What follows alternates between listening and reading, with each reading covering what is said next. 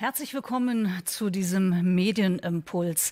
Zwischen Government und Governance Medienregulierung 2020 lautet unser Thema heute. Wir wollen also sprechen über Medienregulierung im digitalen Zeitalter. Und Inhalte zu regulieren, das wird zunehmend komplizierter und herausfordernder, je mehr Ausspielwege, je mehr Endgeräte wir haben. Es ist nicht einfach, das alles in den Griff zu bekommen.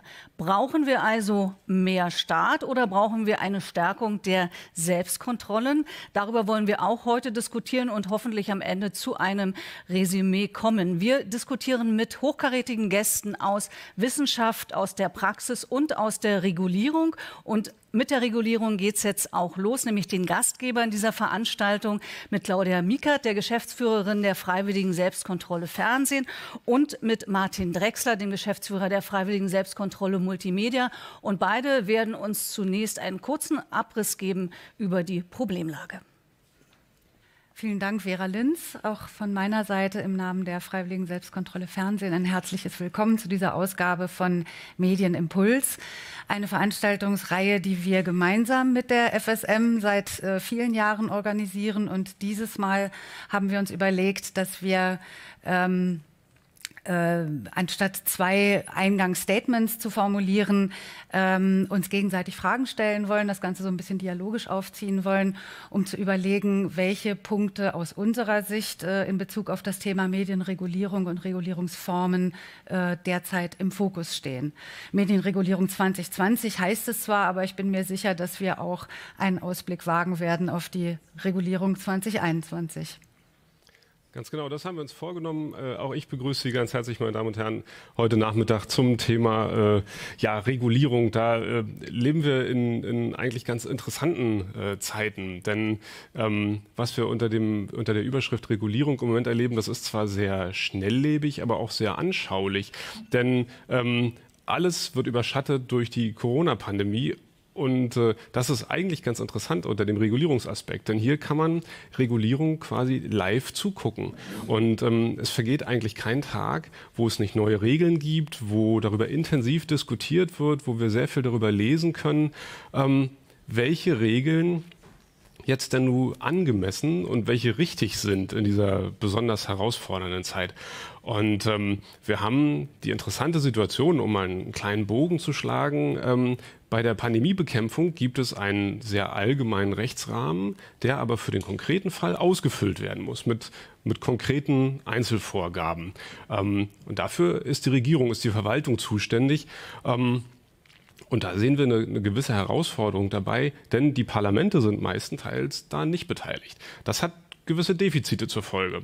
Ähm, man hat den Eindruck, es ist weniger Diskussion, es ist weniger Kommunikation und zum Teil mangelt es möglicherweise auch an Transparenz ähm, der Entscheidungsfindung oder der, der, der Art und Weise, wie diese Regeln zustande kommen. Und wenn wir diese Situation mal in einem ganz mutigen Bogen sozusagen versuchen, auf die Medienregulierung zu übertragen, ähm, auch hier haben wir häufig die Situation, dass Gesetze nur einen, einen allgemeinen Rahmen vorgeben, die Ausgestaltung dann aber in der Praxis einzelnen Akteuren ähm, äh, ja, zukommt. Zum Beispiel uns Selbstkontrollen. Und ähm, hier wäre mal von mir so eine Art programmatische Vorfrage, ähm, ist das eine gute Idee und ist das auch eine zukunftsweisende Idee, in vielen Regulierungsbereichen für den Staat sich zurückzuziehen und allgemeine Regeln und einen, einen Rahmen vorzugeben, die Ausfüllung dieses Rahmens dann aber denen zu überlassen, die damit in der Praxis zu tun haben? Eigentlich kann man sagen, das passiert ja schon äh, in, in, weiten Stücken. Und wenn du sagst, den, den, Bogen ziehen zur Medienregulierung, dann können wir es vielleicht noch etwas konkretisieren und sagen, ähm, zum Beispiel beim Jugendmedienschutz ist es ja schon so, dass die gesetzlichen Vorgaben den Rahmen bilden und die Konkretisierung äh, den Selbstkontrollen überlassen bleibt, zum Beispiel die Übersetzung des Begriffs Entwicklungsbeeinträchtigung. Der Gesetzgeber, in dem Fall der JMSTV, gibt vor, ähm, dass Inhalte, die Entwicklung entwicklungsbeeinträchtigend sind, nur so verbreitet werden dürfen, dass Kinder und Jugendliche der betroffenen Altersgruppen sie üblicherweise nicht wahrnehmen. Und natürlich gibt es darüber hinaus dann auch Vorgaben, wie das geschehen kann, über Sendezeiten, über technische Mittel. Es gibt auch grobe Kriterien. Nichtsdestotrotz bleibt es den Selbstkontrollen überlassen, in unserem Fall äh, plural besetzten Prüfausschüssen, wie das Ganze konkretisiert wird, was als Entwicklungsbeeinträchtigung, äh, als entwicklungsbeeinträchtigend gilt und wie ein konkreter Inhalt zu bewerten ist. Also die Frage wird ständig neu beantwortet. Ist dieses Programm ab zwölf oder ist zu viel Gewalt drin oder wird zu hemmungslos Alkohol konsumiert? Und an der Stelle würde mich interessieren, äh, ja, nochmal deine Frage aufgreifend, hat sich das bewährt oder erleben wir jetzt äh, neue, lernen wir neue Probleme und Phänomene kennen, die neue Formen von Regulierung erfordern, wo das vielleicht nicht mehr funktioniert mit dem breiten, mit dem weiten Rahmen? Und diese, diese Frage ist durchaus berechtigt, ne? wenn wir uns also anschauen, dass Regulierung sich weiterentwickeln muss, genauso wie sich, wie sich die, die Lebenssachverhalte weiterentwickeln. Ne? Also wenn wir über Medienregulierung reden, dann haben wir natürlich vor allem das Internet vor Augen. Und es ist nach wie vor die Plattform für globalen Informationsaustausch, für Zusammenarbeit, für Kommunikation. Ist aber auch in letzter Zeit natürlich äh, zu einem Ort geworden, wo Phänomene wie Hate Speech oder Verschwörungserzählungen ähm, zu Hause zu sein scheinen. Und ähm, wie darauf zu reagieren ist, ähm, das muss man sich äh, tatsächlich genau angucken. Und ähm, wir, wir sehen, dass äh, die Regulierer in Deutschland verschiedene Wege vielleicht auch ausprobieren, ähm, in manchen Bereichen also die Zügel anzuziehen äh, scheinen und in manchen Bereichen auch Sachen sich entwickeln lassen. Und ähm, da muss man vielleicht mit prophetischer Gabe ausgestattet sein, um, um vorweg zu ahnen, was wird sich bewähren und was wird funktionieren. Aber ähm, man muss sicherlich genau auf die einzelnen Punkte, auf die einzelnen Phänomene, auf die einzelnen Herausforderungen schauen, ähm, um dann die Frage zu beantworten, ähm, wie sehr muss sich der Staat einmischen, wie genau müssen die Regeln ausgestaltet sein und wie weit darf äh, vielleicht auch der Rahmen gefasst sein, um dann in der Praxis jeweils individuelle Antworten zu ermöglichen. Da sind wir ja schon bei Professor Nassei so ein bisschen. Und wenn ich ihr, ihre, äh, ihr Titel mal abwandeln darf, Herr Nassei, äh, sich zu fragen, für welches Problem ist diese Regulierung jetzt eigentlich eine Lösung oder ist sie das? Und da würde mich auch äh, interessieren, was die Expertinnen und Experten sagen zu den internationalen äh, Entwicklungen, die wir wahrnehmen. Da erleben wir ja gerade, dass Deutschland so einen eigenen Weg versucht, kann man sagen, ein eigenes äh, Profil versucht zu finden zwischen Protektionismus wie, wie in den USA und in Russland äh, einerseits und ähm, totalitären Tendenzen wie in China andererseits. Und äh, dass im Grunde der europäische Weg, wenn es sowas gibt, mehr Aufsicht bedeutet über das Internet und auch mehr Stärkung von, äh, von informa informationeller Selbstbestimmung. Ich denke an die Datenschutzgrundverordnung. Ich weiß nicht, wie du das siehst. Da gibt es ja auch sehr viel kritische Stimmen. Äh, einerseits natürlich richtig, gegen die Datenkraken, äh, die transnationalen etwas zu unternehmen. Andererseits fragt man sich schon, äh, nehmen die Menschen das wirklich wahr? Ist das eine gelungene Regulierung, einfach weil das Bewusstsein äh, gestiegen ist über die Daten, die ich äh, verbreite? Oder äh, ist es so, dass wir einfach technisch nur Kästchen wegklicken und gar nicht mehr hinterfragen, was da eigentlich passiert? Wird sich das durchsetzen? Und äh, das zweite große Gesetzesvorhaben, das NetzDG, damit habt ihr mehr zu tun, ist ja auch zweischneidig. Also einerseits natürlich richtig, dass der Staat etwas unternimmt äh, gegen Hate Speech und gegen Angriffe auf die Demokratie. Andererseits schon so ein bisschen spooky möchte man meinen, wenn Länder, die gar nicht ihre Medien demokratisch regulieren, da so aufspringen auf den Zug und, äh, und das NetzDG ähm, adaptieren. Ähm, weiß nicht, was, was überwiegt bei dir, das äh, komische Gefühl oder, oder ist es eine gute Lösung? Nein, ich habe da, hab da eigentlich kein komisches Gefühl dabei, denn ähm, ich finde es richtig, dass der Staat sich um die Themen, die uns alle beschäftigen und die unser Leben prägen, ähm, kümmert. Und Politik zu machen heißt Gesetze zu machen, heißt oder weitergesprochen heißt, Regeln zu geben.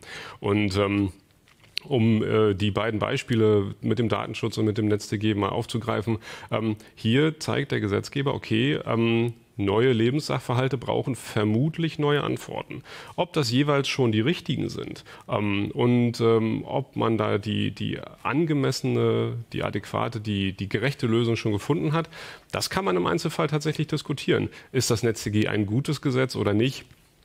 Die einen sagen so, die anderen sagen so. Ähm, es hat sicherlich gute Ansätze und vor allen Dingen der Punkt, was ich eben ausgeführt habe, dass der Staat sich des Problems annimmt und sagt, dass das ist das, was wir als Gesellschaft hier vielleicht als Regeln auch haben wollen. Ähm, das ist wichtig und das ist richtig. Und was man damit in der Praxis dann ähm, anfängt und wer sich daran orientiert und auf welche Weise, das ist eine ganz andere Frage. Ähm, um mal ähm, zum, zum Thema Jugendmedienschutz ein bisschen näher hinzuführen. Ähm, da sind, haben wir in Deutschland ein sehr interessantes Regulierungsmodell. Das nennen wir das Modell der regulierten Selbstregulierung. Das ist was ganz Besonderes. Das gibt es eigentlich nirgendwo sonst ähm, und ist eine Mischung aus Co-Regulierung und Selbstregulierung. Und ähm, wir sind in Deutschland eigentlich zu Recht stolz auf dieses Modell, wo ähm, der Staat wenige klare Regeln gibt und die Behörden oder die staatlichen Stellen nur wenig Aufsicht wahrnehmen. Ähm, zu Recht aber auf Institutionen vertrauen, denen sie ähm, einiges zutrauen, wie uns Jugendschutz-Selbstkontrollen. Denn dieses Regulierungsmodell besagt, vereinfacht gesprochen, solange wir Selbstkontrollen unseren Job ordentlich machen, solange sind die staatlichen Stellen raus aus der Geschichte. Und das ist etwas, was wir lange als wahnsinnig zukunftsgewandt und äh, auch ja, beispielgebend ähm, gesehen haben gerade in letzter Zeit äh, bei den Regulierungsthemen, die wir im Jugendschutz sehen, scheint es davon eine gewisse Abkehr zu geben. Ich will mal zwei Beispiele nennen. Ähm, im, Im Moment sehr viel diskutierten Entwurf zu einem neuen Jugendschutzgesetz ähm, wird als neue Aufsichtsbehörde des Bundes eine Bundeszentrale für Kinder- und Jugendmedienschutz vorgesehen. Und diese Bundeszentrale soll als weitere zusätzliche Aufsichtsstelle hinzutreten zu den ja nicht gerade wenigen Einrichtungen, die im Jugendschutz bisher schon damit beauftragt sind, ähm, die Einhaltung der Regeln zu überwachen. Ob wir eine solche Stelle wirklich brauchen und ob die Machtfülle, die im Gesetzentwurf angelegt ist, schon äh, das Richtige ist. Das wird, glaube ich, im parlamentarischen Prozess noch intensiv zu diskutieren sein. Ein zweiter Punkt ist, ähm, die Regeln für technischen Jugendschutz sind bisher nur sehr kursorisch, nur sehr allgemein vorgegeben äh, in den gesetzlichen Grundlagen. Und wir als Selbstkontrollen haben einen riesigen Spielraum, diese, diese Regeln auszulegen ähm, und gemeinsam auch mit Unternehmen an Konzepten weiterzuentwickeln. Und in dieser Situation haben wir in den letzten Jahren eine wahre Flut von Innovationen und äh, neuartigen technischen Lösungen gesehen, die in den Bereichen Video on Demand, in den Bereichen Altersverifikation ganz neue Wege gehen, ähm, auch von internationalen Anbietern interessanterweise nach Deutschland gebracht werden, sich hier an die deutschen Vorgaben halten, ähm, weil sie sehen, es gibt das starre Korsett hier nicht in diesem Bereich, sondern es gibt flexible Spielräume, die man nutzen kann. Und das haben wir als Selbstkontrolle sehr gerne unterstützt und wollen das auch weiterhin tun. Deshalb ist das beispielsweise ein, ein, ein, ein wichtiger Ort, wo zu starre Regeln kontraproduktiv sind. Also du sagst, tendenziell äh, ist das auf nationaler Ebene eher rückläufig. Äh, tendieren wir dazu eher wieder die stärkere Rolle des Staates zu betonen. Auf europäischem Parkett ist es aber doch ein bisschen anders. Also wir haben uns neulich unterhalten über äh, die europäischen neuen Initiativen äh, gegen Desinformation. Und da setzt man doch wieder sehr stark auf äh, selbstregulatorische Ansätze oder regulierte Selbstregulierung und äh, benennt das oft mit so einem Zucker Butterbrot äh, oder Peitsche-Prinzip, äh, dass man sagt, also solange die Industrie das regelt, die Anbieter das regeln mit ihren Selbstkontrollen, äh, umso ähm, äh, solange kann man, kann man das laufen lassen, aber wenn dies und jenes nicht funktioniert, dann muss eine stärkere Regulierung her. Also da scheint man ja doch wieder auf Bewährtes zu setzen. Und äh, da würde mich interessieren, wie verhält sich das national mit europäischer Gesetzgebung? Lernt man da nicht aus dem positiven Modell, so wie du es sagst, oder ähm, fängt man überall wieder von vorne an? Da sind wir aber auch schon Zuckerbrot und Peitsche bei den Anbietern. Auch das hast du gesagt. Die Anbieter wollen wir hier heute auch hören. Wir werden zwei Beispiele hören von reiner äh, Selbstregulierung, also einer, einer Eigeninitiative von Seiten der Anbieter, um äh, im Grunde Probleme anzugehen und Lösungen zu finden, die in Regulierungsrichtung gehen können und auch sehr konstruktiv sein können. Äh, für den Rundfunk- und Telemedienbereich äh, Stefanie Strüppler von Discovery, die ein Kommunikations-, äh, ein Klassifikations- und Informationstool vorstellen wird und äh, damit im Grunde auch schon äh, Problemlösungen anbietet, die sich äh, Regulierung durchaus zunutze machen könnte. Genau, und ein zweites Beispiel, was wir nachher ein ähm, bisschen genauer kennenlernen werden, ähm, das wird uns Marie-Theresa Weber von Facebook vorstellen, nämlich das ähm, Facebook Oversight Board. Hier geht es darum, dass äh, ein externes Gremium von unabhängigen äh, Expertinnen und Experten bestimmte einzelne, besonders kontroverse Fälle ähm, ja, betrachten muss, prüfen muss, äh, mit dem Ziel, die ähm, eine möglichst auf globaler Ebene gerechte und angemessene Entscheidung zu treffen, ob diese Inhalte beispielsweise auf der Plattform von Facebook zulässig sein sollen oder nicht. Und äh, wir sind gespannt darauf, mehr darüber zu erfahren und auch zu schauen, ob das möglicherweise ein Modell ist, was auch für andere Anbieter gelten kann.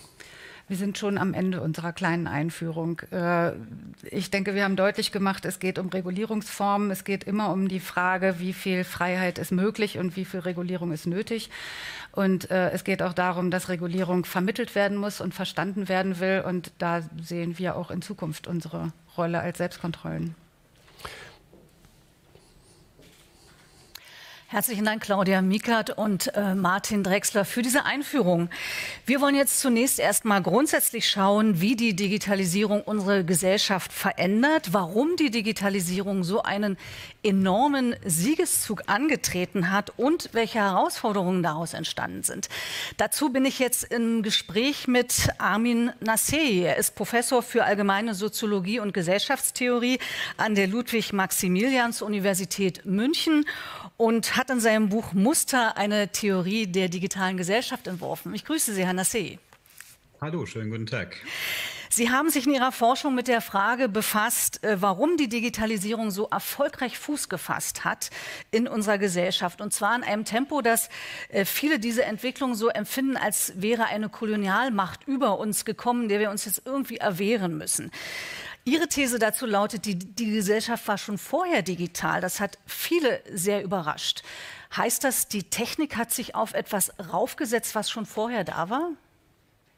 Ja, wahrscheinlich kann man sagen, dass sich neue Techniken immer auf etwas draufsetzen, was vorher schon da war. Also es werden sich nur Techniken oder Technologien in Gesellschaften tatsächlich durchsetzen, äh, solange und soweit sie in der Lage sind, äh, innerhalb der Gesellschaft Probleme zu lösen. Also vielleicht ein blödes Beispiel. Die, die, die Dampfmaschine brauchte natürlich bereits eine Gesellschaft, in der, in der man so etwas wie Kraftentfaltung für die Produktion von Gütern äh, oder für den, für den Transport, Transport von Gütern sich irgendwie vorstellen kann, sonst könnte man mit der Dampfmaschine nichts anfangen.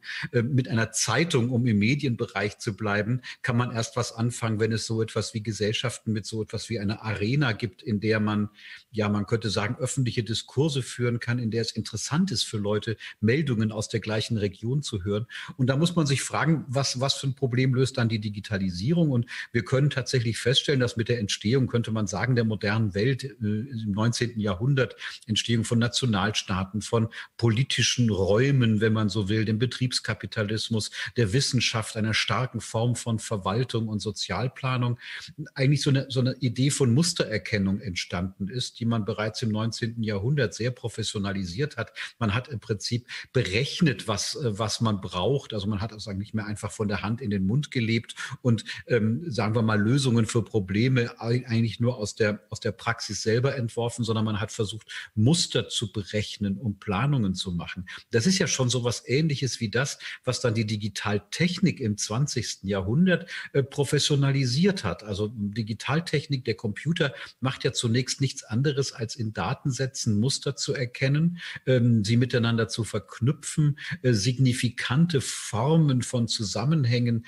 äh, zu entbergen und das in einem, in einem Bereich, an den unser Bewusstsein sozusagen gar nicht mehr drankommt, rein quantitativ. Und das war der Erfolg eigentlich dieser Technik, die dann tatsächlich, Ihre Formulierung hat mir gut gefallen, quasi wie ein Kolonialist von außen in die Gesellschaft hineinkam, weil ganz offensichtlich man in unterschiedlichsten Bereichen, also in sozialen Bereichen, aber auch in technischen Bereichen mit dieser Technik der Mustererkennung und dann sozusagen als, als zweite Form der Steuerung umgehen könnte. Und dann kam als drittes eben auch noch dazu, dass es sich um ein Medium handelt, das äh, tatsächlich die Medienwelt total durcheinander gebracht hat.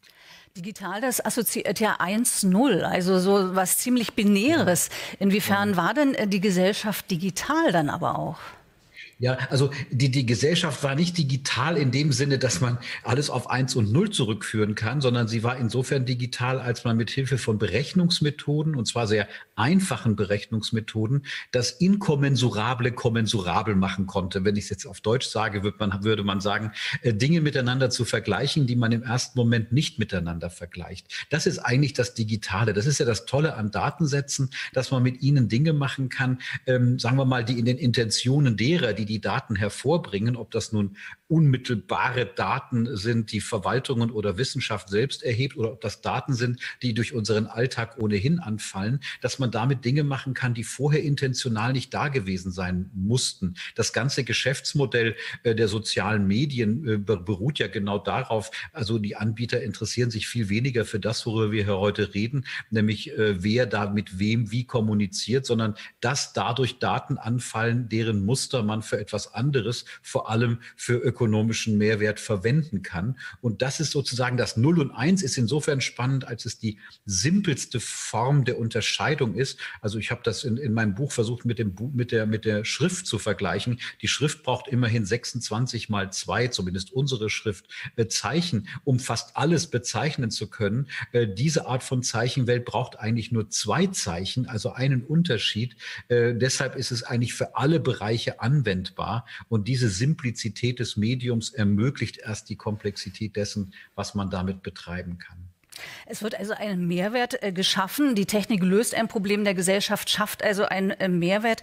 Warum ist es so wichtig, äh, diesen ganzen Sachverhalt Digitalisierung genau unter diesem Gesichtspunkt zu betrachten? Weil Sie haben ja die Sozialwissenschaften auch so ein bisschen kritisiert, dass die so an der Oberfläche bleiben. Warum ist diese Perspektive so entscheidend?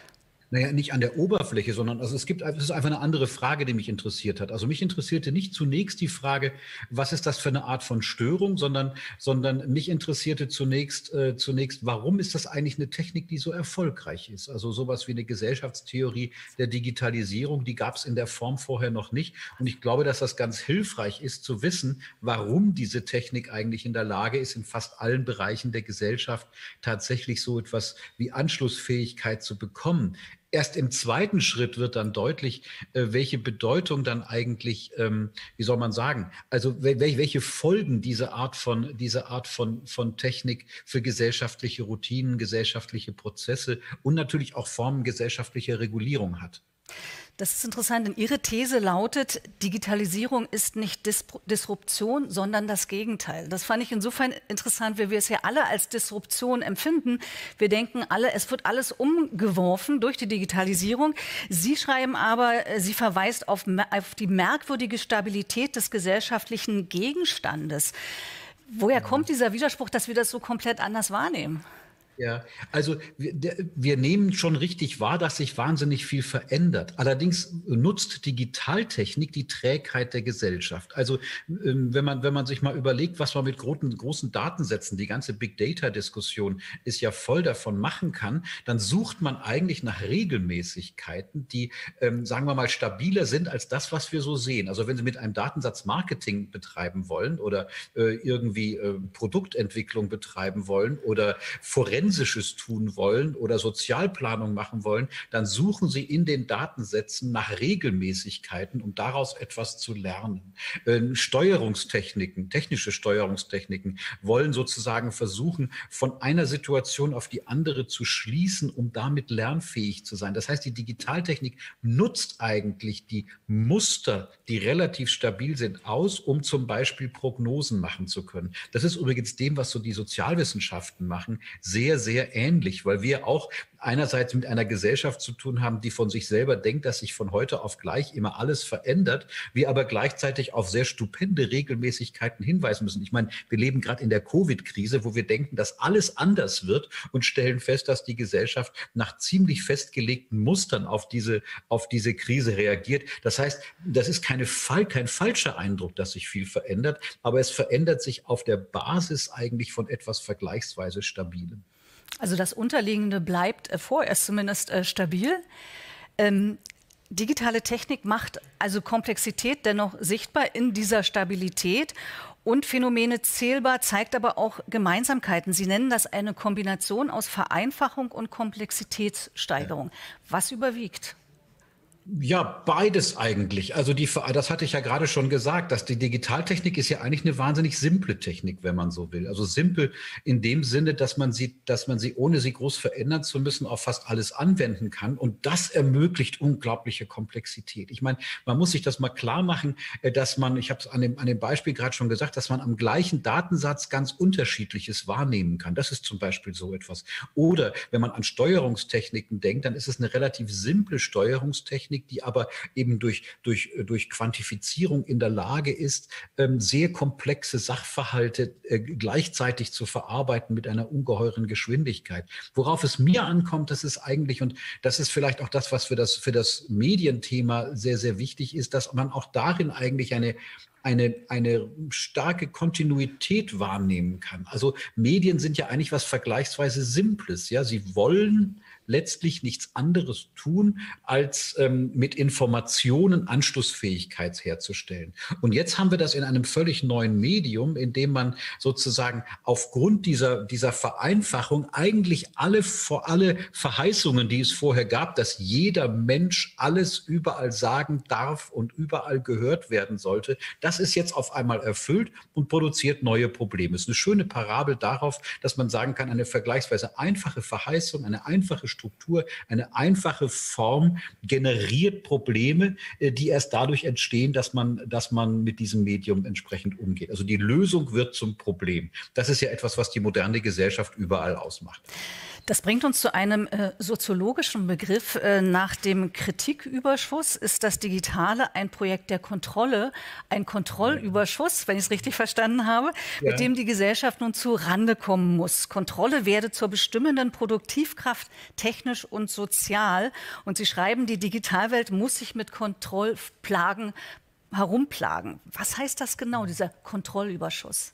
Ja, der Kontrollüberschuss ist eine Unterscheidung, die nicht von mir stammt, sondern von dem Soziologen Dirk Becker. Also der Kritiküberschuss, das wäre das, was man mit der Buchdruckwelt verbindet. Ja, also äh, seit es den Buchdruck gab, hat man sozusagen, hat, hat, hat, hat es immer wieder Kritik gegeben an dem, an dem, was geschrieben war. Also jedes neue Buch war im Prinzip Kritik an den Büchern vorher. Und der Kontrollüberschuss bedeutet, dass wir jetzt auf einmal Mittel in der Hand halten. Und wir ist die Frage, wer das eigentlich ist. Das ist sehr ungleich verteilt, wer das, wer das äh, in der Hand hält mit dem man sozusagen gerade über Mustererkennung und gleichzeitig auch über die sozusagen gleichzeit, das gleichzeitige Abscannen oder das gleichzeitige Abscannen von Prozessen Informationen generieren kann, mit denen man Prozesse tatsächlich sehr stark steuern kann.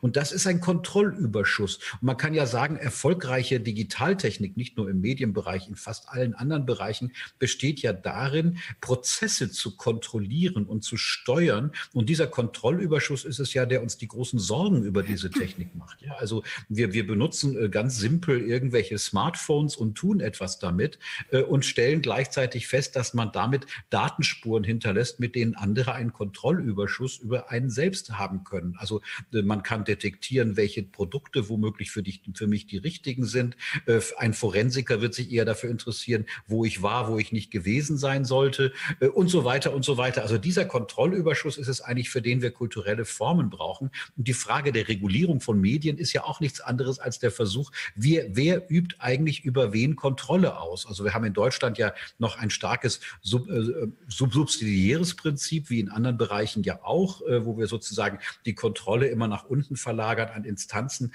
die damit umgehen sollen. Jetzt haben wir mit einem Medium zu tun, das den Kontrollüberschuss so stark macht, ähm, dass man womöglich mit diesen subsidiären Formen nicht mehr auskommt. Und das ist eine, das ist eine schwierige Situation. Und das ist wirklich ein Beispiel, Frau Linz, Sie haben das gerade gesagt, für Disruption. Also da ändert sich tatsächlich durch die Anwendung dieser Technik etwas in unserem Selbstverständnis. Das heißt, wir haben einfach gesagt, mehr zu kontrollieren, als wir kontrollieren können? Ja, das ist eine schöne Formulierung. Also, weil es, weil es eigentlich die ganze Paradoxie auf den Begriff bringt. Ja, also wir haben, wir haben sozusagen, äh, und wieder ist die Frage, wer ist wir? Wir haben sozusagen die Mittel, in Prozesse einzugreifen und äh, brauchen diese Mittel, um bestimmte Steuerungsprozesse möglich zu machen und müssen gleichzeitig mit Hilfe von Steuerungsmitteln diese Steuerungsmittel auch in ihre Schranken weisen. Mhm. Das ist unglaublich kompliziert. Das Tolle ist ja gerade bei der, bei der Mediensteuerung, dass man, dass man im Prinzip diese Steuerungsmittel braucht, um rauszukriegen, welche Muster in ganz bestimmten Formen entstehen, die man zum Beispiel äh, unterbinden will. Also äh, bestimmte Inhalte oder bestimmte Formen der der Überhitzung durch das Medium und so weiter. Das, das, das nehmen wir ja nicht alles mit, mit unserem natürlichen Bewusstsein wahr, sondern wiederum auch mit der Technik, mit der wir das machen können, indem wir diese Muster feststellen. Mhm. Ich würde gleich noch mal zur Medienregulierung kommen, aber vorher noch mal auf äh, einige andere Störungen der ja, Gesellschaft gerne. schauen. Äh, denn wie Sie schreiben, ähm, führt die Digitalisierung zur Störung der Routinen der Moderne. Das haben wir also hier nicht nur in der Medienregulierung, sondern auch in vielen anderen Bereichen. Ein Stichwort wäre Monopol Schulbildung, aber vielleicht können Sie noch andere Bereiche nennen, wo wir diese Störungen haben. Naja, die, die, die, die finden ja eigentlich überall statt. Ja, also eine der größten Störungen, die wir haben werden, das ist, dass, äh, dass, die, dass die Produktion von, äh, von Wertschöpfung äh, womöglich äh, durch, die, durch die Digitalisierung von Wirtschaftsprozessen immer weniger Personen zugerechnet werden kann. Das wird also etwas sein, mit der sich diese und die nächste Generation ziemlich rumschlagen muss. Eine weitere Störung ist, dass wir im Medienbereich äh, auf einmal auf alles zugreifen können und so etwas wie Gatekeeper-Funktionen verschwinden. Deshalb bekommt man besonders viel Informationen, aber es ist immer schwerer rauszukriegen, welche Information ist valide. Wir haben die Situation, dass diejenigen, die uns heute sozusagen äh, kontrollieren können, ähm, nicht mehr unbedingt staatliche Akteure sind, sondern private Akteure. Ich gehöre noch einer Generation an, die mal gegen Volkszählungen äh, protestiert hat, was ja irgendwie unfassbar naiv ist, wenn man sich überlegt, was Volkszählungen damals an Daten produziert haben. Wenn ich heute einmal durch München laufe, habe ich mehr Daten hinterlassen, als die ganze Volkszählung damals hatte. Das ist eine unglaubliche Störung, weil diejenigen, die über diese Daten verfügen, natürlich etwas tun können. Wir kennen die Diskussion darüber, darüber, äh, wer in, in welche Formen von zum Beispiel Wahlkämpfen oder ähnliches eingreifen kann durch entsprechende Informationsmittel. Also die, die Liste könnte man, könnte man radikal verlängern. Und es ist eben die Störung, dass man das nicht sieht. Also ich habe es gerade schon gesagt, wir, wir bewegen uns in sozialen Netzwerken oder wir, wir stellen fest, dass, ähm, dass der Informationshaushalt der Gesellschaft sich irgendwie, äh, irgendwie komplexer wird. Und man kann jetzt beobachten, ähm, was man gewissermaßen mit dem Wissen über die Strukturen dieser Prozesse machen kann. Da entstehen völlig neue Machtpositionen in der Gesellschaft, die es vorher nicht gegeben hat. Ja, also wir, wir haben, wir, wir wussten, dass so etwas wie, wie, wie Rechte gegenüber dem Staat ähm, der, über die klassische Idee äh, der Menschen- und Bürgerrechte diskutiert worden werden, äh, diskutiert wurden. Jetzt haben wir es mit Akteuren zu tun, die gar nicht mehr in erster Linie staatliche Akteure sind, die mit solchen Dingen entsprechend umgehen. In China ist es sozusagen vielleicht gleich zu sich selbst gekommen, weil dort gewissermaßen äh, fast alles dann zu staatlichem Akteur wird und die Digitalisierung, das was Kontrollüberschuss angeht, sozusagen uns zeigt, was, was an, an Radikalem da möglich ist. Aber in liberalen Gesellschaften ist es ja keineswegs so, dass diese Formen von Kontrolle nicht entstehen und dass diese Gefährdungen nicht da sind. Mir fällt noch ein Beispiel ein, auch derzeit intensiv in der Diskussion Algorithmen, die uns ja. dadurch herausfordern, dass sie keine Unschärfe zulassen, im Gegensatz zu uns Menschen, die ja doch immer noch so ein bisschen Spielraum haben in ihren Entscheidungen. Ja, das ist eine schwierige Diskussion. Also ein Algorithmus ist ja zunächst mal was ganz Simples. Ein Algorithmus ist eigentlich nur ein Konditionalprogramm, äh, das, äh, das, das abläuft. Und was wir, also ein Konditionalprogramm heißt, es ist natürlich sehr, sehr komplex. Deshalb sieht es aus, als wird ein Algorithmus ähm, etwas selbst machen. Eigentlich wird er programmiert dafür, dass unter bestimmten Bedingungen etwas Bestimmtes passiert. Das und, und eben unter Einbeziehung großer Datenmengen kann man dann sozusagen Algorithmen für sehr komplizierte Steuerungsformen verwenden. Schwierig, also das ist in der Tat so, dass das, wie Sie sagen, es wenig Graubereiche gibt. Schwierig wird es ja sozusagen, wenn wir es mit Technik zu tun haben, äh, die selbst, also die selbst Entscheidungen treffen oder denen wir Entscheidungen zurechnen. Da haben wir übrigens ein ganz ähnliches Problem wie das mit der, mit, mit, mit der Medienregulierung, ähm, dass, dass man sich die Frage stellen muss, wem rechnet man eigentlich zu, dass etwas geschieht? Mein Lieblingsbeispiel ist natürlich das selbstfahrende Automobil. Also Automobil heißt schon Selbstfahrer, aber Sie wissen, was ich meine ähm, dass bei dem sozusagen nicht ein Datensatz verarbeitet wird, sondern eine, eine, eine Technik da ist, die selbst mit Hilfe von Sensoren in der Welt Strukturen entdeckt und dann aufgrund der eigenen Daten Entscheidungen trifft. Und wenn man jetzt, wenn man jetzt feststellt, dass solch ein Apparat einen Fehler macht, äh, dann kann man zum Beispiel nicht sagen, naja, Frau Linz hat einen Fehler im, im äh, Straßenverkehr gemacht, sie ist nur ein Mensch. Zu sagen, das ist nur ein Algorithmus oder nur eine künstliche Intelligenz, diese Kontingenzformel steht uns nicht zur Verfügung. So haben wir es mit einer Technik zu tun, die zurechnungsfähig wird und gleichzeitig Fehler machen kann. Äh, also ein System, das mit, mit Daten arbeitet, die es selbst erhebt, kann nur Fehler machen aus mathematisch-logischen Gründen. Es kann nicht vollständig ähm, vollständig fehlerfrei sein, sonst wären es ja keine Entscheidungen, die da getroffen werden. Aber wir haben große Schwierigkeiten mit den Zurechnungsprozessen. Der Mensch ist sozusagen als ein Symbol für Nichtperfektheit äh, eine wunderbare, ein wunderbarer Anker, an dem man falsch laufende Prozesse festmachen kann. Äh, mit der Technik wird das schwieriger. Auch das ist eine Frage, mit der sich unsere Kultur wirklich auseinandersetzen muss. Welche Art von Zurechnungsfähigkeit man hier sowohl rechtlich als auch moralisch als auch im Alltag denken kann. Erschüttern all diese Beispiele, die Sie jetzt genannt haben, erschüttern die die Stabilität der Gesellschaft, die Sie ja gerade erst attestiert haben? Naja, die Stabil also ich habe nicht gesagt, dass die Gesellschaft stabil ist. Ich habe gesagt, dass die Muster unserer Reaktionen vergleichsweise berechenbar und stabil sind. Also ich habe mich immer gewundert, auch schon als junger Sozialwissenschaftler, das ist lange her, wie Sie sehen, ähm, dass man mit, mit, mit der Befragung von 1000 bis 1500 Menschen in Deutschland die Wahlergebnisse ziemlich genau prognostizieren kann. Das weist ja auf vergleichsweise interne Stabilität hin, aber das heißt nicht, dass die Gesellschaft als Ganze stabil ist. Ich würde ja sagen, dass das Paradox Paradoxe an der Digitalisierung äh, ist, dass Digitalisierungsprozesse bisweilen Orientierungslosigkeit, Instabilitäten, Disruptionen produzieren, dass wir gleichzeitig aber Digital, Digitaltechnik brauchen, um diese Folgen sozusagen wieder zu bearbeiten. Das ist ein Hinweis darauf, dass diese Technik tatsächlich aus dieser Gesellschaft nicht mehr wegzudenken ist. Nun sprengt die äh, Digitalisierung die Grenzen der Funktionssysteme. Sie fordert, schreiben Sie, institutionalisierte Routinen heraus, heißt, wir brauchen neue Routinen? Naja, zum Teil schon. Ich habe ja gerade das Beispiel genannt.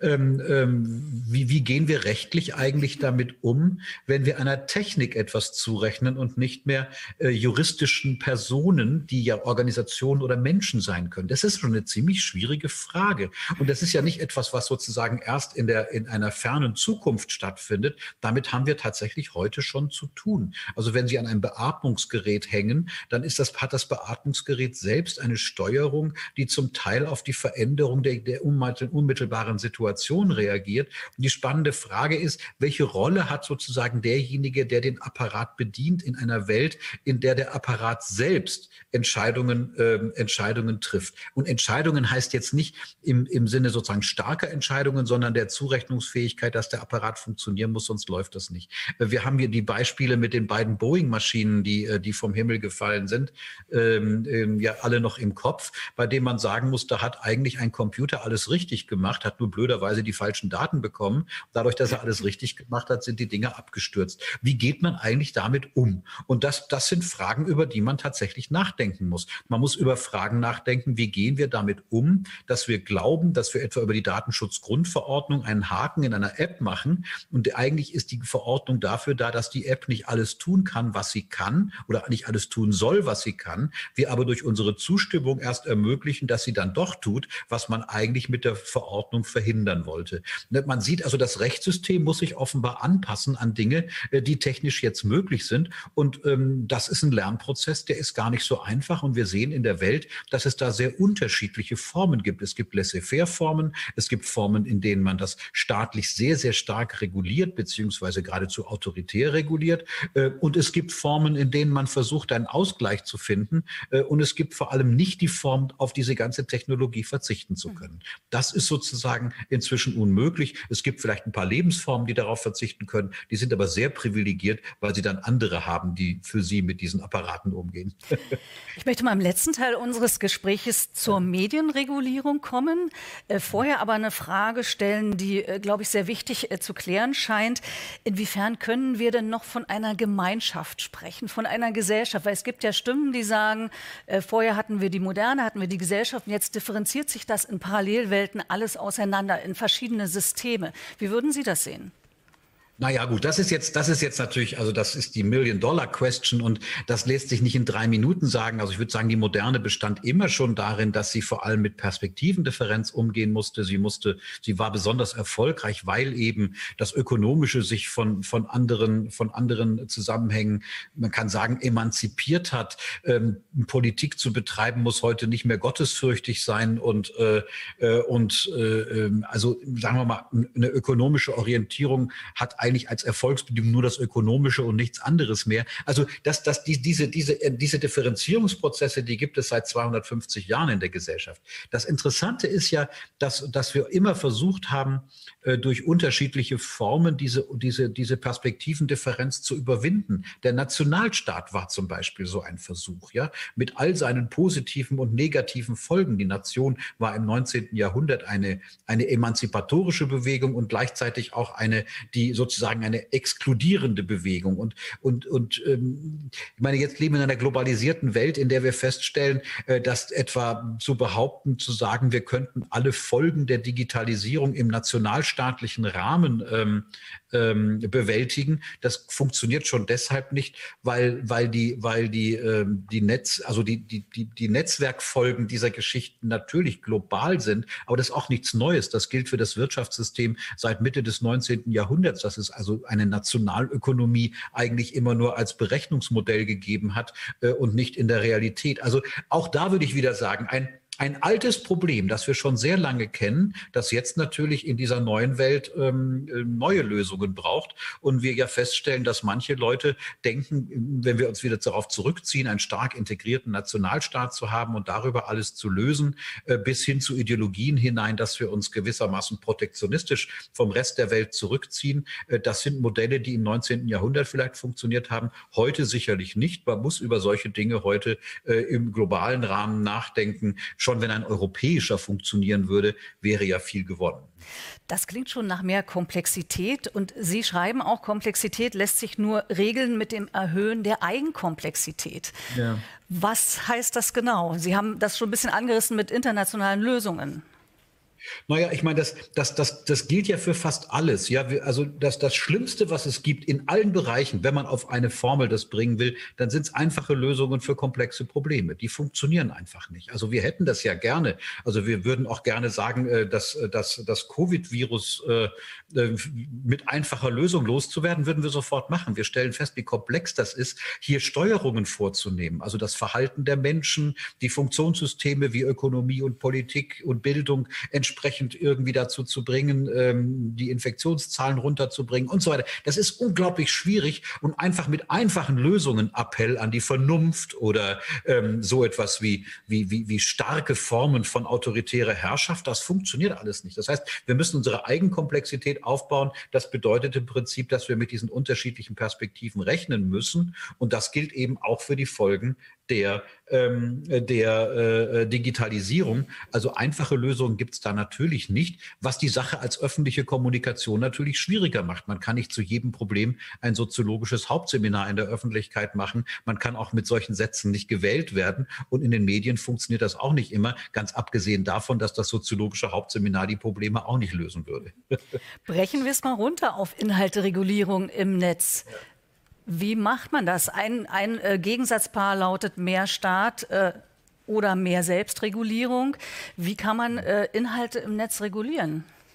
Ja, wie kann man Inhalte im Netz regulieren? Das ist jetzt sozusagen die zweite Million-Dollar-Question. Wenn man ein bisschen auf, in die Geschichte des Mediensystems guckt, würde man ja sagen, äh, dass, dass, dass die große Verheißung zunächst mal tatsächlich war, dass möglichst wenig in den Medien reguliert wird. Ja, also das Problem der Medien am Anfang war das der Zensur. Ja, jetzt haben wir sozusagen, dass die Medien tatsächlich ähm, alles melden können, was möglich ist. Also das Recht besteht ja auch darin, Unsinn zu schreiben. Das ist ja, das ist das, was man Freiheit nennt. Ja, die Wahrheit zu schreiben ist einfach, aber auch Unsinn zu schreiben in einem System, dass, dass das möglich ist. Und jetzt, jetzt ähm, kann man feststellen, dass die Geschichte des Mediensystems ja darin besteht, dass man Gatekeeper eingebaut hat. Also zum Beispiel, dass Medien sehr stark mit dem journalistischen Beruf zu tun haben, dass Redaktionen Gatekeeper sind, dass wir es mit einer Öffentlichkeit zu tun haben, die durch durchaus in der Lage ist zu unterscheiden, ob man es mit ernstzunehmenden oder weniger ernstzunehmenden Formen von Informationen zu tun hat. Durch die, durch die Digitalisierung der Medien äh, sind diese Gatekeeper zum Teil verschwunden und äh, ist gewissermaßen diese Selbstbegrenzung des Systems, die gar keine intentionale, sondern eine strukturelle ist, tatsächlich weg. Deshalb ist es unglaublich schwierig, jetzt entsprechend anzusetzen. Also Sie können, wenn in einer Zeitung irgendein Schmarrn steht, der, der, der ein rechtliches Problem produziert, die Redaktion adressieren. Äh, das, was als Dynamik in einem Netz entsteht, äh, ist viel schwerer adressierbar, weil man sozusagen den Urheber in dieser Form nicht kennt. Also diese Dynamik einzugrenzen, das ist außerordentlich kompliziert. Und ähm, man könnte sagen, also wir nehmen das wirklich ernst mit der Liberalität. Jeder darf sagen, was er will. Die Folgen muss man dann entsprechend bearbeiten. Oder äh, man macht es total, total autoritär und man könnte ja sozusagen mit Hilfe von Algorithmen durchaus bestimmte Begriffe aufstöbern und die Leute dann sozusagen rausschmeißen aus den Geschichten. Wir kennen das ja alle. Wahrscheinlich ist der Mittelweg der einzig mögliche. Ich habe es vorhin schon gesagt, ob diese subsidiären Formen, wie wir sie in Deutschland kennen, äh, für diese Form tatsächlich funktionieren, darf bezweifelt werden. Ich bin kein Experte auf diesem Gebiet, aber ich würde mir vorstellen, ähm, dass, dass, wir, dass wir feststellen müssen, dass wir auch hier andere andere Institutionen brauchen, die das entsprechend machen. Wahrscheinlich brauchen wir darüber eine Art von öffentlichem Diskurs, der zunächst einmal einem größeren Publikum klar macht, was denn an dieser Medienform eigentlich anders ist als an den traditionellen. Ich glaube, dass das so bekannt zum Teil gar nicht ist. Sie sagen dazu oder schreiben dazu ganz salomonisch, äh, wir brauchen wahrscheinlich intelligentere Lösungen, die die unterschiedlichen Logiken der Gesellschaft zusammendenken. Genau, das sagt man immer, wenn einem nichts genaueres einfällt. Intelligentere Lösungen sind eigentlich immer eine gute Lösung. Was wir aber bisher sehen, ist, dass, wenn es auch um technischen Fortschritt geht, dass das eben sehr stark von den Tech-Unternehmen bislang definiert wird, dass sie sehr starke Treiber sind ähm, äh, und wir da so ein bisschen hinterher hecheln. Müssen wir den Tech-Unternehmen als Gesellschaft das aus der Hand nehmen, diese Definition, was ist gesellschaftlicher Fortschritt? Na, das ist ja sozusagen wieder eine, eine, also die, eine Grundfrage der Moderne, ja. Also wie viel Regulierung soll der Staat eigentlich im Hinblick auf das machen, was ähm, ja zum Beispiel technischer Fort, technischen Fortschritt bedeutet. Also ähm, es gibt viele Leute, die haben als erste Reaktion zu sagen, am besten hat der Staat das selbst in der Hand, als wäre der Staat derjenige Akteur, der besser weiß, wie diese Geschichten gehen. Ich habe da große Zweifel, ehrlich gesagt. Und ich habe auch große Zweifel, dass, dass man sozusagen ähm, schon genau antizipieren kann, welche Art von, von, von Technik die entscheidende und die richtige sein wird. Insofern komme ich wieder auf den salomonischen Satz zurück. Wahrscheinlich brauchen wir tatsächlich Foren, in denen man darüber nachdenkt, welche Art von Technik wo tatsächlich sinnvoll einsetzbar ist. Man muss gleichzeitig sehen, es handelt sich auch um Märkte, ja, in denen diese Dinge, diese Dinge funktionieren müssen. Ich würde mir vom Staat schon wünschen, da vielleicht ähm, stärker, also von staatlichen Akteuren, da vielleicht stärker, also mal zuzugeben, dass wir in der nächsten Generation es tatsächlich mit disruptiven Veränderungen im Arbeitsleben, im Medienleben, auch im privaten Leben zu tun haben. Ich meine, wir haben letztens Wahlkämpfe gehabt. Da war das einzige Digitalisierungsthema und dass es gab, ähm, dass es gab die Frage, äh, ob man, ähm, ob man Glasfaserkabel auch bis Niederbayern verlegen kann oder nicht. Ich meine, das ist sozusagen die Steinzeitfrage zur Digitalisierung. Da wären noch ein paar komplexere Fragen denkbar. Also wir brauchen einen breiteren gesellschaftlichen Diskurs, das nehme ich mit. Abschließend noch eine Frage, jetzt noch eine Million-Dollar-Frage, die dritte in dieser Runde, die ich aber äh, in diesem Nachmittag allen stellen möchte. Wir sind jetzt in der Pandemie und hier werden sehr schnell Regelungen erlassen. Was zeigt, dass es geht, wenn wir in Not sind und wenn die Gefahr groß ist. Ja. Nun sagen viele, oh, warum kann es nicht woanders auch so schnell gehen? Warum müssen wir alles so ewig lange diskutieren? Meine Frage, wäre diese Geschwindigkeit ein Vorbild für andere Arten von Regulierung? Also hoffentlich nicht, würde ich sagen. Ja, also wir haben, wir haben tatsächlich mit einer Ausnahmesituation zu tun. Es geht um Leben und Tod. Man muss es vielleicht tatsächlich so, so sagen. Wenn man allein die Klimakrise und diese Covid-Krise miteinander vergleicht, die Klimakrise ist eine, äh, die, ähm, wie soll man sagen, also ähm, eine, eine, eine, eine chronologische Krise. Ja, wir wissen alles seit den 70er Jahren und es wird uns auch noch länger beschäftigen. Jetzt haben wir es mit einer temporären Krise zu tun, bei der man tatsächlich solche Ausnahmegeschichten machen kann. Äh, aber das als Modell für Gesellschaftssteuerung, ich meine, wir, wir sehen doch schon innerhalb der Covid-Krise, äh, dass das eigentlich nur in den ersten zwei Monaten möglich war. Danach hat die Gesellschaft so reagiert, wie sie es immer tut. Die unterschiedlichen Akteure beobachten das Ganze aus ihrer je spezifischen Perspektive. Auch wenn das die Welt komplizierter macht, ist mir das erheblich lieber als diese merkwürdigen Utopien, dass es der Staat am Ende durch Zentralismus am besten lösen kann. Das kann er nicht. Amina C., Professor für Soziologie an der Ludwig-Maximilians-Universität München. Herzlichen Dank für dieses Gespräch. Dankeschön. Sehr gerne. So, und wir fahren fort mit unserem nächsten Gast. Ich freue mich sehr, begrüßen zu dürfen Janette Hofmann, Professorin am Wissenschaftszentrum Berlin für Sozialforschung. Und wir nehmen jetzt beide Platz hier auf dem Panel mit genügend Abstand. Frau Hofmann, ich freue mich sehr, dass Sie da sind. Frau Linz, ich freue mich auch, mit Ihnen zu sprechen. Medien äh, werden von der Gesellschaft oft als eine Art Kolonialmacht äh, oder Urgewalt empfunden, die so vermeintlich über uns hereingebrochen ist. Das hatten wir schon mit Amin Nasseh kurz thematisiert. Aber dass sie nur erfolgreich sein können, wenn sie eine Funktion erfüllen, das haben wir auch besprochen. Jetzt wollen wir diese These mal runterbrechen auf das Verhältnis von Demokratie und Medien, wofür Sie ja hier die Expertin sind. Und wir wollen fragen, wie verändern die Medien unsere Gesellschaft und unsere Demokratie oder umgekehrt? Umgekehrt, welche Medien hat unsere Gesellschaft ermöglicht? Also was haben wir zugelassen an Medien? Inwieweit sind die Medien Spiegelbild unserer gesellschaftlichen Bedürfnisse? Sie haben in einem Artikel äh, geschrieben, dass digitale Technik den Eindruck macht, als hätte sie ein Eigenleben.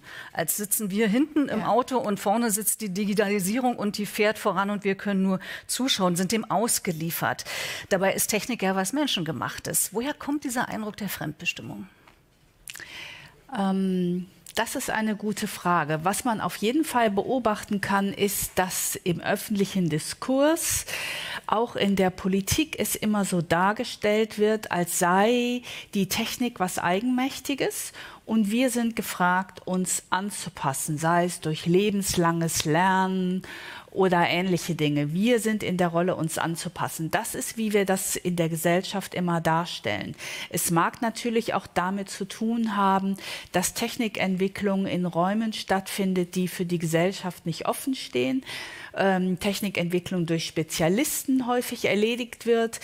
Aber glaube ich, es hat auch damit zu tun, dass wir als Gesellschaft unseren eigenen Einfluss auf Technikentwicklung in aller Regel nicht wahrnehmen. Ich gebe Ihnen ein aktuelles Beispiel. Facebook ist ein soziales Netzwerk, das mal begonnen hat als eine Art Spielzeug, ein öffentliches Fotoalbum für College-Studierende. Und es hat sich ja seither wirklich grundlegend gewandelt in jeder Hinsicht.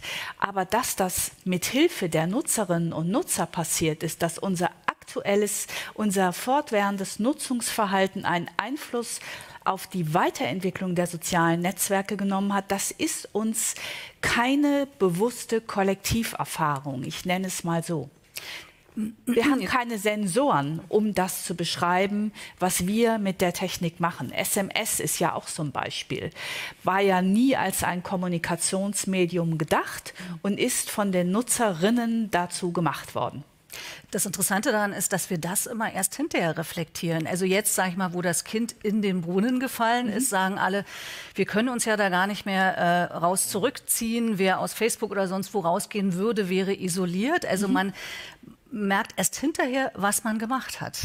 Ja, das gilt aber für sehr viele Entwicklungen, dass ein bisschen auch zeitliche Distanz schon dabei hilft, eine Art Überblick zu gewinnen. Das bezieht sich ganz sicher nicht nur auf Technik. Das ist wahr, könnte aber äh, auch bedeuten, dass man vielleicht offensiver äh, äh, kommunizieren muss, auch in der Öffentlichkeit, wie groß unsere eigene Rolle eigentlich ist, äh, dabei, dass Technik sich durchsetzt? Ja, ich würde sagen, dass einer meiner Messages, wenn man so will, in dem, was ich schreibe, genau darin auch besteht, die gesellschaftliche Rolle in der Formierung von Technik deutlich zu machen und damit zugleich auch zu zeigen, dass es immer verschiedene Optionen gibt, dass eben die Technik nicht eigengesetzlich sich fortentwickelt, sondern es immer verschiedene Szenarien und Optionen gibt, äh, die wir wählen können. Und dass es deshalb sinnvoll ist, wenn wir uns diesem dieses Spektrums an Möglichkeiten auch bewusst werden. Das fand ich äh, nämlich eine sehr interessante Perspektive, weil für mich war gefühlt das Internet irgendwie ab einem bestimmten Punkt schon immer da. Und ich habe dann irgendwann auch gar nicht mehr darüber nachgedacht, äh, dass mhm. es auch hätte anders kommen mhm. können. Und Sie schreiben, das fand ich sehr interessant, es hätte auch anders kommen können. Äh, das Netzwerk hätte anders aussehen können, als wir es heute erleben. Äh, zum Beispiel viel nationaler. Es hätte sich in der Hand mhm. des Staates befinden können. In Deutschland hatte zum Beispiel die Post mal äh, überlegt, äh, so eine Funktion zu übernehmen. Wie kam es denn dazu, dass das nicht passiert ist? Das wäre ja mal ein interessantes Szenario gewesen. Also das ist in der äh, Szene, in der Community derer, die mit Netzwerkentwicklung, mit den Netzarchitekturen befasst sind, ist diese Zeit als die Protokollkriege, the Protocol War in Erinnerung, weil da tatsächlich zwei verschiedene Philosophien gegeneinander angetreten sind. Auf der internationalen Ebene in einer UN-Organisation, der International Telecommunication Union und in einem weiteren äh, internationalen Standardisierungsgremium wurde über elektronische Netzwerke tatsächlich in Anlehnung an die Telefonnetze nachgedacht. Das heißt, das Modell des Telefonnetzes, man hat ein nationales Netz und dann Übergangsstellen in andere Länder und man sichert die ab, auch zum Beispiel durch Steckdosen, die nur in der einen Weise funktionieren und nicht der anderen, so dass man auch seine nationalen Hersteller hat, die für den eigenen Markt produzieren. Genau dieses Modell sollte auf elektronische Netze auch angewandt werden. Und daneben hat es eine weitere Entwicklung gewesen, das war das sogenannte Wissenschaftsnetz damals. Ähm, das ist überwiegend, aber nicht ausschließlich in den USA entwickelt worden, muss man auch sehen. Auch in Frankreich zum Beispiel und in Großbritannien hat es Leute gegeben, die über diese Art der technischen Vernetzung, wie sie das Internet kennzeichnet, nachgedacht haben, die aber alle in ihren Ländern unterdrückt worden sind, weil da eben dieses nationale Netz entwickelt werden sollte. Das ist ein Kampf auf der internationalen und auf der nationalen Ebene gewesen. Und das erste Forschungsnetz, das wir in Deutschland bekommen haben, setzte tatsächlich auf diesem internationalen Standard X25 auf und die Anhänger dieser nationalen Vernetzung haben Anfang der 1990er Jahre noch gedacht, das Internet ist ein Spielzeug, das bald wieder verschwindet. Dazu gehörte tatsächlich auch die Bundesregierung, ähm, die ähm, dieses ähm, international abgestimmte Netz der nationalen Netze sehr stark verfochten hat. Das heißt, sie hat es also unterschätzt und dadurch konnte dann durch die Hintertür das Internet seinen Siegeszug antreten? Na, da haben verschiedene Dinge dazu beigetragen. Zum einen war das so, dass dieses ähm, dieses Netz, das die Bundespost äh, sozusagen verwaltet hätte, zwar auf der Ebene der Spezifikationen beschrieben war, aber es keine funktionierenden Anwendungen gab, während sowas wie E-Mail schon äh, lief. Das hat eine große Rolle gespielt.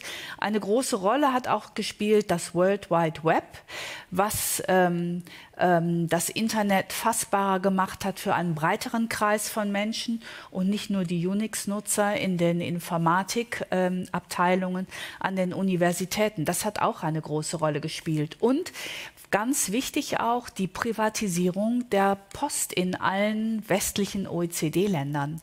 Dass die Post ihren Einfluss auf die Netze verloren hat und sozusagen an einen Markt übergeben hat, war ein ganz wichtiger Faktor. Würden Sie sagen, dass sich das Netz aber auch auf einen Zeitgeist draufgesetzt hat? Also man denkt ja heute so aus heutiger Sicht, naja, Bürgerbewegungen oder viele Initiative, das ist ein Ergebnis des Netzes, das ist erst dadurch entstanden. Aber war das nicht schon vorher auch schon da? Ich habe mal geschrieben, dass ich aus meiner Sicht das Internet ein Kind der Moderne ist. Und damit meine ich, dass es eben auch durch ein bestimmtes Nutzungsverhalten geprägt worden ist. Das bestand unter anderem darin, dass das Individuum mehr Gestaltungsfreiheit haben wollte, die Obrigkeitshörigkeit erheblich nachgelassen hat und sich damit auch die öffentliche Sphäre maßgeblich verändert hat. Dass wir heute soziale Netzwerke wie Facebook, Twitter, Instagram nutzen, um uns öffentlich zu Wort zu melden, hat ja auch damit zu tun, dass wir a denken, wir haben was zu sagen mhm. und zweitens auch mitmischen wollen und die Politik und deren Kommentierung nicht mehr einem ausgewählten Kreis von Journalistinnen und Journalisten überlassen wollen. Insofern spiegelt äh, das Netz eine Entwicklung, die schon vorher angesetzt hat. Sie schreiben auch, der Wertewandel, den wir seit den 60er und 70er Jahren beobachten, der hat sich in die Technik eingeschrieben. Ja. Welche Werte spiegeln sich im Internet? Also zunächst mal ist aus meiner Sicht die digitale Technik eine Art Möglichkeitsraum. Die schreibt eben nicht vor, wie wir sie nutzen, sondern sie gibt uns Möglichkeiten an die Hand. Und es ist sowas wie Deregulierung, Privatisierung, aber auch so eine Kultur der Befreiung, die in den 70er Jahren Europa erfasst hat, die sich ganz stark in der Art und Weise, wie wir digitale Technik wahrnehmen und nutzen, niedergeschlagen hat. Und Dazu gehört etwa sowas wie eine Kultivierung individueller Freiheit, der Selbstverwirklichung. Solche Dinge haben in den 50er, 60er Jahren nicht so eine große Rolle gespielt mhm. und hätten in der Zeit auch zu einer anderen Nutzung von Technik geführt, meine ich. Inzwischen aber haben wir, habe ich so den Eindruck, alle so ein bisschen den Kater also weil wir plötzlich mitkriegen, was für mhm. Nebenwirkungen das mhm. Netz oder dieser Möglichkeitsraum ja. mit sich gebracht hat. Das Netz läuft, hat man ein bisschen den Eindruck aus dem Ruder mit Hate Speech, Fake News, mit dem mhm. Formieren rechter Bewegungen im Netz, mit äh, Wahlbetrug, also alles Negative äh, hat man den Eindruck, spitzt sich äh, zu. Die Möglichkeiten, die das Netz hier bietet, gefährden die Demokratie. Wie demokratisch ist das Internet? Ja, zunächst mal sollte man vielleicht aus demokratietheoretischer Sicht sagen, dass wir was gelernt haben, was uns vorher vielleicht so auch gar nicht klar sein konnte, nämlich dass mehr Öffentlichkeit und mehr öffentlicher Diskurs nicht immer auch zu mehr Demokratie führt. Das haben wir nämlich lange gedacht, mhm. dass Demokratie bedeutet, den Leuten Mitbestimmung zu geben und je mehr, desto besser. Heute sehen wir, dass das nicht notwendigerweise der Fall ist. Ist eine Einsicht über, ähm, wenn man so will, die demokratische Mechanik, die ja nicht blöd ist zu haben. Ne? Wir lernen ja auch was über uns selbst, äh, indem wir die digitalen Möglichkeiten für uns nutzen. Das ist als solches erstmal positiv. Aber auf der anderen Seite stimmt es schon, dass äh, die Nutzung der digitalen Netze und das Geschäftsmodell, das hinter den sozialen Netzwerken steht, schon jede Menge Dilemmata für uns mit sich bringt. Wer ist schuld daran? Die, oder wer trägt die Verantwortung für die Probleme, dass wir es unterschätzt haben, wie Sie schon eben angedeutet haben, dass ähm, es falsch designt ist oder unpassend designt ist oder wir Individuen, die wir eben dann doch alle mitmachen? Also es ist sicher eine Kombination. Ähm, häufig wird ja den sozialen Netzwerken vorgeworfen, dass die Art der Inhalte, Kuratierung, die sie vornehmen, also vor allem das äh, Populäre zu prämieren und besonders sichtbar zu machen mhm. und keinerlei journalistische Standards walten zu lassen, äh, die Problematik, die wir im Moment im öffentlichen Raum sehen, ganz maßgeblich verstärkt hat. Manche Leute sagen sogar äh, verursacht hat. Zu denen gehöre ich nicht. Ich denke, dass dieser rechte Rand in den meisten europäischen Ländern immer da gewesen ist und mit den digitalen Möglichkeiten der Kommunikation hat er plötzlich eine Stimme erlangt und sehr viel größere Sichtbarkeit, als er unter den Bedingungen der klassischen Massenmedien hatte. Mhm. Die Frage ist nun, wenn wir auf die Regulierung schauen, um die es ja heute ja auch gehen soll, wie reguliert man ohne diese Freiräume, die Sie auch beschrieben haben, wieder einzuschränken? Und Sie sprechen von einem neuen Öffentlichkeitsmodell, also das auch ganz viele Möglichkeiten enthält, wo sich Menschen auch neu organisieren, neue Kollektivitäten mhm. entstehen. Wie würden Sie dieses Öffentlichkeitsmodell beschreiben? Also häufig wird in dem Zusammenhang von Fragmentierung gesprochen. Das ist eine eindeutig negative Konnotation. Und der Hintergrund für diese Beschreibung ist, dass ja unser Demokratiemodell quasi implizit voraussetzt, dass wir uns zwar streiten, aber alle über das Gleiche streiten, dass wir alle wissen, worum es geht, um daraus dann zu Kompromissen zu gelangen, äh, selbst wenn wir uns nicht einigen können. Und mit dem Internet und seinen verschiedenen Diensten sind jetzt sehr viele Teilöffentlichkeiten entstanden, manche auch so geschlossen, eben zum Beispiel über Messenger, dass man da von außen gar nicht reingucken kann, sodass dieser Grundgedanke oder diese Annahme, die der Demokratie zugrunde gelegt gefährd, äh, ist, gefährdet scheint, nämlich, dass wir am Ende alle auf das Gleiche gucken. Mhm. Das haben ja die Massenmedien für uns in wunderbarer Weise organisiert. Alle haben abends die gleichen Nachrichten geguckt und alle haben morgens in etwa das Gleiche gelesen.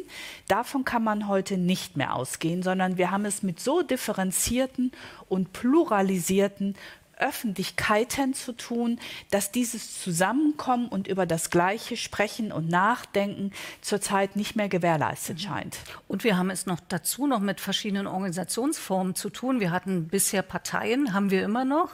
Aber wenn sich junge Leute heute für Politik interessieren, heißt das nicht mehr, dass es eine Partei sein muss, sondern ja. Sie nennen das sehr schön Kollektivitäten. Das finde ich ein sehr schönes Wort. Ja. Es entstehen völlig neue Gebilde. Wie kann man die dann auch greifen, ist dann die Frage. Also das ist schon interessant, dass die junge Generation zwar nicht unpolitisch geworden ist, wie wir lange glaubten, aber andere Formen der Organisation wählt. Ähm, wir sprechen da häufig von Netzwerken und Schwärmen und ähnlichen äh, eher also häufig spontan entstehenden Kollektiven, die sich dadurch auszeichnen, dass sie erstens sehr unhierarchisch sind. Häufig gibt es keine Sprecherrollen und keine festen Organisationsformen. Sie sind aber auch eher projektförmig als auf Dauer angelegt. Wenn man heute, wenn man überhaupt einer äh, politischen Partei eintritt, dann nimmt man so eine Art kollektive Identität an und sagt, wir Sozialdemokraten oder wir Grünen. Mhm. Und das entspricht den Präferenzen der Jungen eher nicht so. Die wollen ihre eigene Identität behalten und das politische Engagement ist Teil der eigenen individuellen äh, Rolle äh, und Selbstwahrnehmung. Und da ist halt das Problem erstens, dass es sehr schwierig ist, diese spontanen Organisationsformen lange aufrechtzuerhalten. Die verbrennen zum Teil einfach wieder nach einer Weile oder implodieren. Und zum anderen ist natürlich das Problem, dass die Rolle, die Parteien für uns bisher übernommen haben, nämlich verschiedene Interessen und Präferenzen zu aggregieren und zu einem Ganzen zu formen, das dann gegen das Ganze der anderen Parteien antritt, dass das soziale Bewegungen, äh, Netzwerke und Schwärme nicht hinkriegen. Die sind in aller Regel auf ein Thema konzentriert. Mhm. Große Herausforderung, äh, wie man Politik so langfristig organisiert. Noch geht es ja in Parteien, aber die Frage ist, wie lange man das noch aufrechterhalten kann genauso groß wie die Herausforderung, wenn wir jetzt zur Medienregulierung kommen, ähm, die darin besteht, diese Herausforderung, dass klassische und neue soziale Medien miteinander sozusagen konvergieren, also die, die verschmelzen miteinander. Wie soll man das in eine einheitliche Regulierung fassen? Also ich finde es sehr interessant, dass bei vielen Vorschlägen, von denen man heute hört, doch die Medienregulierung traditionellen Typs das Vorbild äh, darstellt. Und da, denke ich, geraten wir in Probleme. Wir sehen mhm. das auch so ein bisschen bei dem neuen Medienstaatsvertrag, der zwar das gute Prinzip der Pluralität in die Plattformregulierung einbringt, aber eigentlich nichts zu den nutzergenerierten Inhalten sagt. Und das große Neue, was wir zurzeit ja sehen, ist, dass sich die Bürgerinnen und Bürger selber äußern können. Und die können wir aus meiner Sicht nicht so behandeln wie Journalisten und Journalistinnen und Journalisten, weil hier ein anderes Prinzip greift. Das sind nicht professionelle Standards der Berichterstattung, die wir an nutzergenerierte Inhalte anlegen können, sondern hier muss man vom Grundrecht der Meinungsfreiheit ausgehen, das ja in unserer Verfassung zu Recht einen großen Schutz genießt. Das heißt, wir können denen nicht einfach sagen, den Nutzern, so jetzt prüfe mal deine Quellen und schreib ein Impressum unter jeden Beitrag, den du machst, sondern die Meinungsfreiheit sieht zum Beispiel auch die Anonymität des Postens vor. Und solche Prinzipien, die müssen wir berücksichtigen berücksichtigen. Deshalb habe ich eben auch von Dilemmata gesprochen. Einerseits freuen wir uns darüber, dass sich die, die Anzahl derjenigen, die sich heute politisch einbringen, so erweitert hat und dass wir neue Formate des Diskurses haben. Und andererseits stellt sich die Frage, wie man das regulieren kann, wenn pro Minute hunderte Millionen von Beiträgen weltweit äh, ins Netz hochgeladen werden und unsere ganzen klassischen Formen, institutionellen Formen der Regulierung des öffentlichen Raums gar nicht mehr greifen. Mhm. Denn das Problem ist ja, dass ich persönlich privat vielleicht etwas äußere, die Wirkung aber doch eine ja. sehr öffentliche ist. Ja. Und manchmal auch die, die Wirkung schon entsteht, wenn nur ein, zwei Leute was posten und man schon nur vermittelt durch die Technik, man schon ur sozusagen aufgeregt ist, was da jetzt wieder geschrieben wird. Ja, es ist ziemlich unvorhersehbar, welche Karriere der eigene Tweet äh, durchmachen wird im Laufe seiner Existenz. Würden Sie sich Amin Nasehi anschließen, dass wir deshalb einen breiteren Diskurs darüber brauchen, wie man sowas regulieren kann? Naja, dieser breitere Diskurs, den haben wir ja und der unterliegt den gleichen Problematiken wie das, was wir regulieren wollen.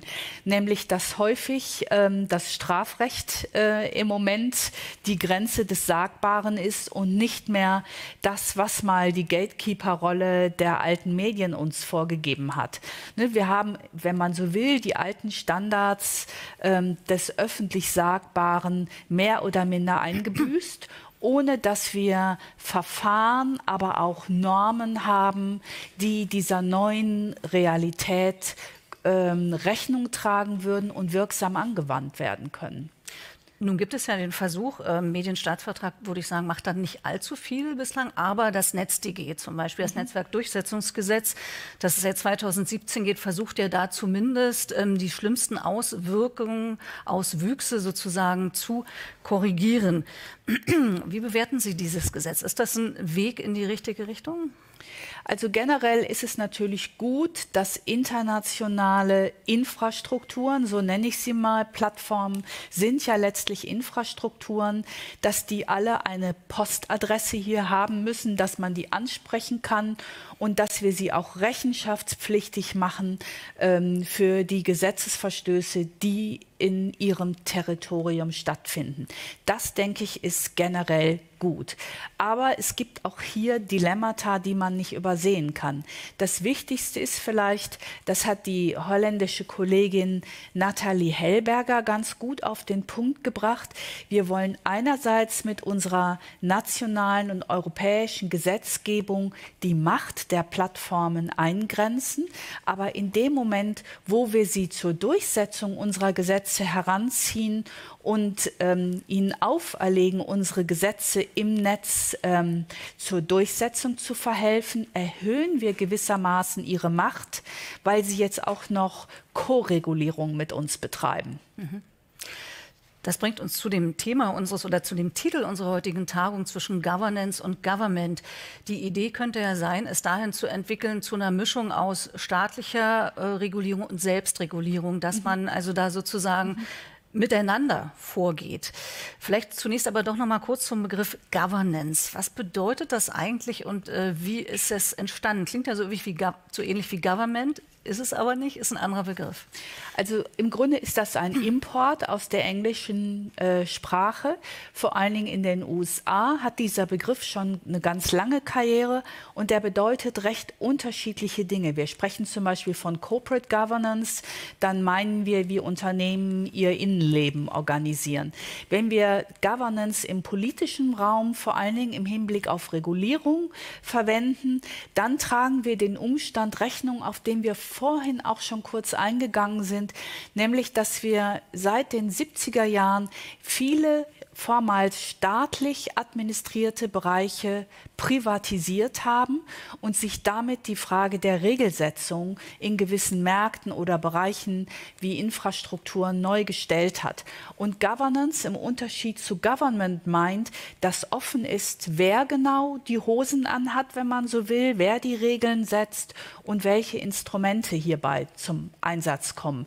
Governance bedeutet äh, flapsig formuliert Regelsetzung, aber lässt offen, ob das der Staat macht oder ob das das Private machen in Selbstregulierung. Mhm. Könnte das aber so ein Königweg sein für die Regulierung von Plattformen, also Governance, dass der Staat, sagen wir mal, einen Rahmen setzt, vielleicht ein bisschen einen anderen als das NetzDG oder das noch ein bisschen weiterentwickelt und die äh, Plattformen dann aus sich heraus sozusagen Mechanismen schaffen, mit denen sie diesen Rahmen äh, herstellen können oder ausfüllen können? Also ich würde mal allgemeiner anfangen und sagen, wir haben in der Regulierung zwei Vorgehensweisen. Das eine ist, wir machen klare Verbots- oder Gebotsregeln oder wir setzen auf Verfahren. Und in der ganzen Medienregulierung spielen Verfahren eine große Rolle. Auch unsere großen öffentlichen Fernsehsender haben sich Gremien geschaffen, die gesellschaftliche Kräfte integrieren, die den großen Rahmen ähm, für das Gebaren der Sender festlegen. Und was Ähnliches sollten wir vielleicht für Plattformen auch überlegen, nach diesem Vorbild, mit dem wir ja eigentlich ganz zufrieden sind, ähm, erstmal zumindest auf Verfahren zu setzen, weil die positiven Regeln, die wir uns geben wollen, angesichts dieser großen Dynamik, durch äh, die wir zurzeit gehen in der Plattformentwicklung, nicht gut ähm, absehen können. Wir können nicht gut absehen, welche vielleicht auch unerwünschten Folgen äh, Regeln haben. Und deshalb sind Verfahren, nämlich das Schaffen von, von Gremien, die zusammen mit den Plattformen über allgemeine äh, Regeln äh, debattieren und da auch ein gewisses Mitspracherecht haben, sind solche Verfahren vielleicht der goldene Weg. Mhm. Wie stellt man da die Balance her? Einerseits haben Sie äh, gesagt, es kann nicht sein, dass ein privater Anbieter Inhalte reguliert sozusagen. Und andererseits wäre es aber doch wünschenswert, äh, wenn eben die Unternehmen selber Verfahren schaffen, in denen sie sich selbst regulieren. Wie kriegt man äh, sozusagen diesen Widerspruch gelöst? Also wenn wir mal davon ausgehen, dass äh, die sozialen Netzwerke im Wesentlichen unsere öffentliche Sphäre heute bestimmen, in ihrer Struktur, auch in ihren Dynamiken, was sichtbar ist und was nicht, dann gibt es schon ein legitimes Interesse der Öffentlichkeit, darauf einen Einfluss zu nehmen und nicht nur die Regeln zu kennen, nach denen Plattformen kuratieren, sondern auch zu sagen, hier deine Community Standards sind mir zu eng, die schränken mein, mein äh, Recht auf öffentliche Meinungsäußerung ähm, unverhältnismäßig ein und ich möchte gerne, dass ihr die weiter fasst. Diese Art von Intervention einer Gesellschaft im Hinblick auf Plattformen finde ich legitim. Insofern würde ich persönlich sagen, würde ich mir ein Verfahren wünschen, das gesellschaftliche Kräfte mit einbezieht, weil es eben um dieses wichtige demokratische Gut der öffentlichen Sphäre geht. Und der Umstand, dass es sich hier um private Plattformen handelt, ist nicht hinreichend zu sagen, dann können die auch alleine bestimmen, was sagbar ist und was nicht und was sichtbar ist und was nicht. Mhm. Das heißt, sie müssten, ist ja zum Teil auch schon in der Mache, entsteht ja gerade, auch bei Facebook zum Beispiel mit dem Oversight Board, ja. sie müssten Institutionen innerhalb ihrer Unternehmen schaffen, äh, in denen sie solche Fragen auch transparent nach außen diskutieren. Ob innerhalb oder nicht, das ist irgendwie eine Architekturfrage, wenn man so will, wie man sowas baut. Man könnte auch überlegen, dass man Gremien schafft, die nicht nur einzelne Plattformen, sondern alle Plattformen äh, ab einer gewissen Größe und, ähm, und Bedeutung einschließt, das ist irgendwie zu überlegen. Aber generell fände ich die richtige Marschrichtung zu Gremien, die gesellschaftliche Kräfte mit einschließen, auch um zu verhindern, dass der Staat eine zu wichtige Rolle in der Medienregulierung bekommt. Wir haben ja in der Bundesrepublik eine lange Tradition der staatsfernen Medienregulierung. Und wenn man den öffentlichen Raum äh, in Deutschland anguckt im Vergleich zu anderen Ländern, wie sagen wir Großbritannien oder Italien, Ungarn, Polen, sind wir damit sehr gut gefahren. Hm. In diesem Zusammenhang finde ich interessant, dass, wie ich hörte, sich gerade autoritär regierte Länder für unser NetzDG interessieren. Ja. Also da scheint offenbar ja doch auch ein sehr autoritärer Aspekt mit drin zu sein. Ja, äh, es hat ja auch sehr viel Kritik am NetzDG gegeben, nicht zuletzt, äh, dass äh, Möglichkeiten fehlen, mit denen, mit denen man sich äh, gegen Löschungen der eigenen Inhalte wirksam zur Wehr setzen kann. Ähm, und ähnliche Dinge, da wird ja jetzt auch zum Glück nachgebessert. Äh, und tatsächlich ist eine der Kritik auch aus den USA gewesen, dass Russland sofort ähm, beschlossen hat, dieses Gesetz zu übernehmen. Bevor ich zu meiner Schlussfrage komme, die ich allen stelle, noch eine Frage zuvor. Wer soll die Werte oder die Referenzen bestimmen, wonach so solche Gremien entscheiden, welche Inhalte erwünscht sind oder nicht. Man braucht ja ein Wertesystem, an das ich mich ausrichten kann, was jetzt mhm. richtig und falsch ist.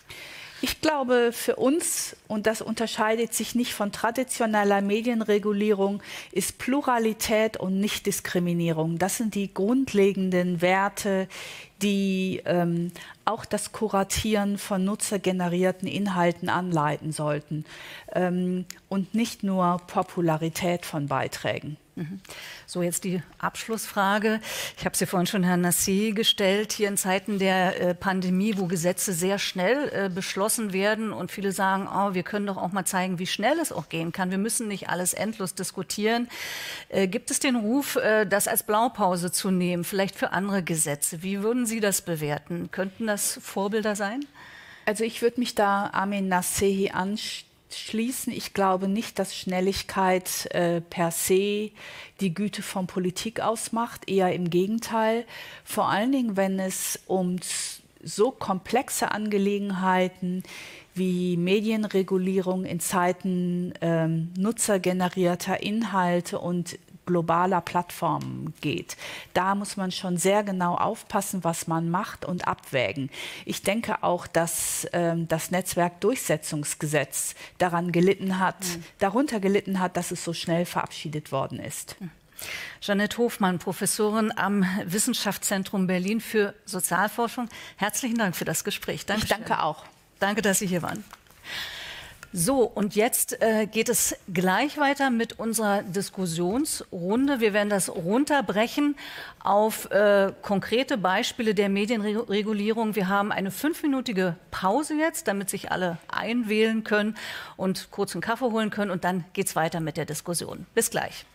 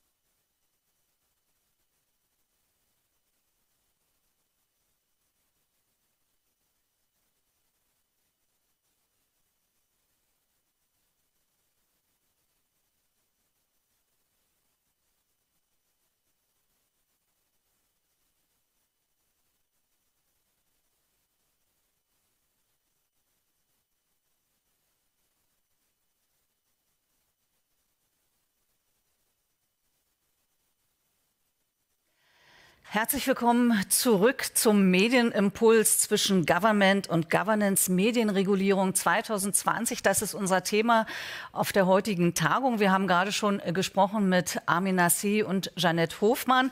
Und jetzt wollen wir das Ganze runterbrechen auf die Praxis. Wir wollen diskutieren unter der Überschrift von Prinzipien zu Praktiken und wollen darüber reden, was äh, bedeutet das, was wir besprochen haben, konkret für die Regulierung von Inhalten generell und äh, auch nochmal speziell mit Blick auf den Jugendmedienschutz. Ich begrüße zunächst meine DiskutantInnen aus der Praxis. Begrüße ich Stefanie Struppler. Sie verantwortet als juristischer Vorstand die medienpolitischen, regulatorischen und juristischen Themen für den Discovery-Konzern und dessen Sender in Deutschland, Österreich, der Schweiz, den Niederlanden, Belgien und Luxemburg. Herzlich willkommen, Frau Struppler. Hallo. Schön, dass Sie da sind. Dann herzlich willkommen, Marie-Theresa Weber. Sie ist Public Policy, Policy Manager bei Facebook und verantwortet im Team die Themen Medienpolitik und Medienregulierung. Herzlich willkommen, Frau Weber. Hallo.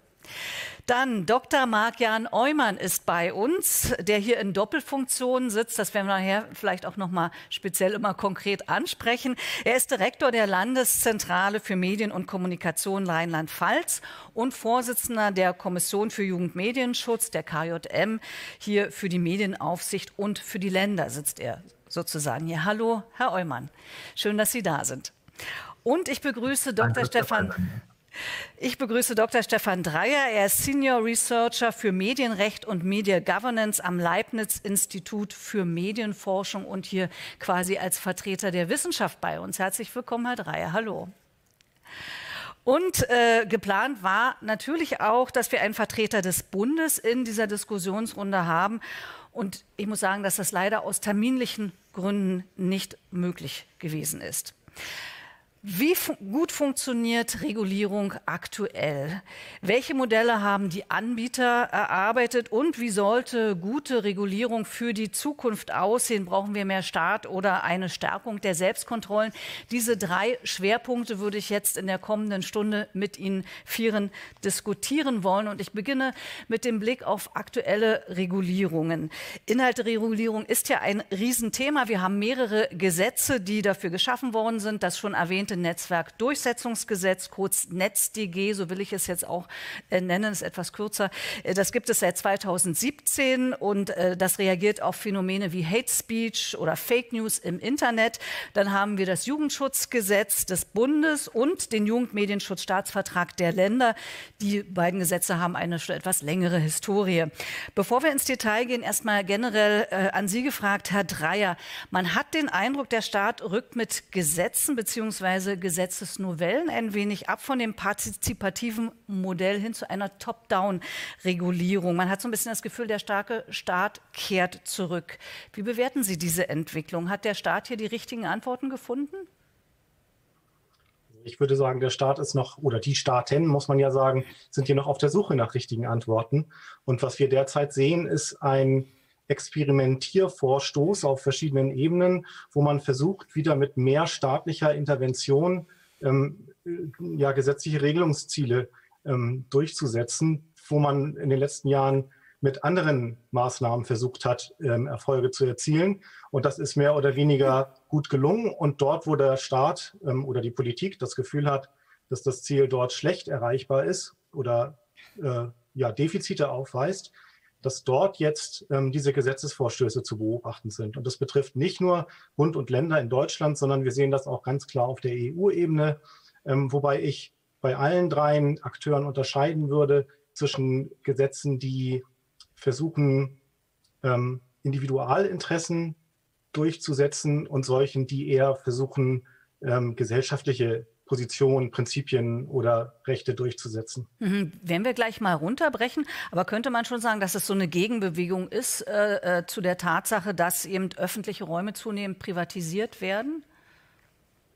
Ähm, ich glaube, das ist eher eine, diese Privatisierung ist eher eine Folge der letzten 25, 30 Jahre im Bereich der Digitalpolitik wo man versucht hatte, Innovationen vor allen Dingen zu ermöglichen, um zu schauen, wie Märkte entstehen, wie auch ja, Monetarisierung dort ähm, funktioniert, äh, ohne dass man gleich in die Grundrechte der Anbieter, der Unternehmen und auch vielleicht der Nutzerinnen und Nutzer eingreifen wollte. Also man wartete ab, hat jetzt festgestellt, dass es mit bestimmten Regelungsansätzen eher schlecht funktioniert und versucht jetzt wieder mit, der, mit dem Heavy Stick in the Background, wie es so schön heißt, ähm, dort durchzuregulieren. Ich glaube, in diesem Zeitpunkt befinden wir uns gerade, dieser Gegenbewegung. Mhm. Brechen wir es mal auf einzelne Beispiele runter. Das NetzDG soll seit 2017 Hate Speech und Fake News im Internet äh, bekämpfen. Inzwischen ist es auch evaluiert worden. Es gibt auch schon zwei äh, Änderungsgesetze, die noch nicht verabschiedet worden sind, aber auch in Kürze folgen sollen. Ich möchte mal in die Runde fragen, vielleicht beginne ich bei Ihnen, Herr Eumann.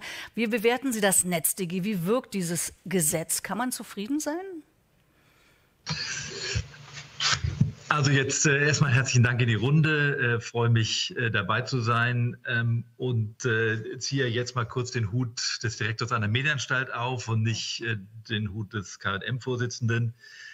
Ähm, tatsächlich kann ich ähm, ähm, bei der Einschätzung des NetzDGs äh, unmittelbar anknüpfen an das, was Frau Hoffmann gesagt hat. Ich glaube, wenn man sich nochmal den Kontext anschaut, das äh, NetzDG ist sozusagen in den letzten Monaten äh, vor der äh, jüngsten Bundestagswahl, also im äh, Verlauf 2017 entstanden. Und äh, wenn sich allein die Stellungnahme der Länder zum NetzDG anschauen, umfasst die, wenn ich mich richtig erinnere, 17 Seiten, ähm, doch mit erheblichen sagen, Bedenken.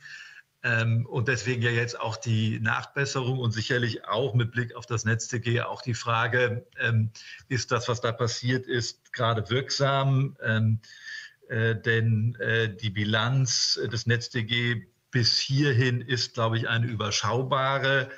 Ähm, wenn Sie sagen, sich die Zahlen anschauen, dann gibt es sozusagen einen Evolutionsbericht äh, aus dem Sommer 20 dass ähm, weniger als 1500 äh, Verfahren ähm, sozusagen eingeleitet worden sind. Davon sind äh, fast die Hälfte eingestellt worden. Und ich glaube, zu diesem Stichtag ähm, äh, August, September 20 reden wir über einen äh, Fall, der noch nicht rechtskräftig ist. Das bricht das ein bisschen runter. Es soll sagen, nicht die Arbeit der Kolleginnen und Kollegen im Bundesamt für Justiz, die das tun, ähm, relativieren. Aber wenn ich sozusagen die Generalkritik der Länder bzw. der Landesmedienanstalten auf das NetzDG nehme, dann ist das eine Thema sicherlich sagen, sehr schnell gemacht. Äh, und komplexe Sachverhalte brauchen ein bisschen mehr Zeit. Also da bin ich unmittelbar bei Frau Hoffmann.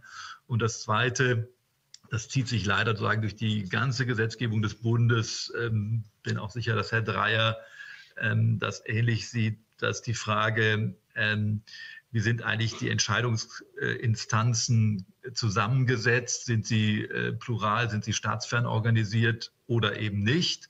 Und sowohl beim NetzDG mit dem Bundesamt für Justiz als auch äh, bei der vorgelegten Just-Novelle ähm, äh, mit der geplanten Bundeszentrale sind sozusagen Instanzen ähm, geplant oder äh, in Anspruch genommen worden, die eben keine staatsferne äh, Bewertung von bestimmten Inhalten sicherstellen. Und äh, das empfinden wir als einen Verstoß gegen äh, die AVMD, Artikel 30.1, ähm, glaube ich, ein ganz entscheidendes Thema. Auch da hat Frau Hoffmann einen wichtigen Hinweis gegeben. Ähm, wir sind bis jetzt sehr gut damit gefahren, dass wir unsere Medienaufsicht tatsächlich staatsfern organisiert haben im öffentlich-rechtlichen System durch die Binnenpluralität, im privaten System durch die Außenpriorität der gesellschaftlichen Gremien der Landesmedienanstalten. Mhm. Ich würde Herrn Dreier auch gleich die Gelegenheit geben, darauf zu reagieren, will aber vorerst vorerst erstmal Frau Weber fragen. Sie sind ja auch unmittelbar betroffen, also Facebook ist unmittelbar betroffen. Wie äh, haben Sie das NetzDG bisher erlebt und die Wirkung des Gesetzes? Ja, hallo. Auch erstmal von meiner Seite einen herzlichen Dank für die Einladung heute. Ähm, und gerne erzähle ich auch ein bisschen, wie, wie wir das NetzDG umgesetzt haben und wie wir das Gesetz erleben. Ähm, es ist ja kein Geheimnis, dass äh, wir uns gegen das NetzDG ausgesprochen haben. Soll nicht bedeuten, dass wir Regulierung auch im Bereich Content generell ablehnen, aber wir halten das NetzDG nicht für das richtige äh, Werkzeug hier. Ähm, wie haben wir es umgesetzt? Sie haben rein praktisch gefragt, welche Erfahrungen haben wir damit? Es ist ja im Gesetzgebungsverfahren damals sehr stark kritisiert worden, dass das NetzDG eben mit sehr unklaren Rechtsbegriffen hantiert und also nicht unbedingt sehr klar ist. Ähm, und es hat sich ja dann auch gezeigt in, in der Wahrnehmung, ähm, äh, ist, wir sind viel dafür beispielsweise kritisiert worden, wie wir es jetzt umgesetzt haben. Klar ist, alle drei großen Unternehmen, also Google, Facebook äh, und auch Twitter, haben das äh, NetzDG umgesetzt und alle haben es ein bisschen anders umgesetzt. Ganz einfach, weil das NetzDG sehr offen formuliert ist. Ähm, wir werden unser Formular umstellen. Jetzt äh, sind wir gerade dabei, das auszurollen. Wir haben das getestet, ähm, sodass es in Zukunft auch noch prominenter am Inhalt platziert sein wird. Ähm, generell kann man sagen, die Erfahrung ist die, dass es einfach unheimlich schwierig ist, die Inhalte vernünftig äh, rechtlich einzuschätzen. Das ist gerade im Bereich Beleidigung oder Verleumdung der Fall. Ähm, wir haben ja im Gegensatz äh, zu Richtern oder Staatsanwälten keine Ermittlungskompetenzen.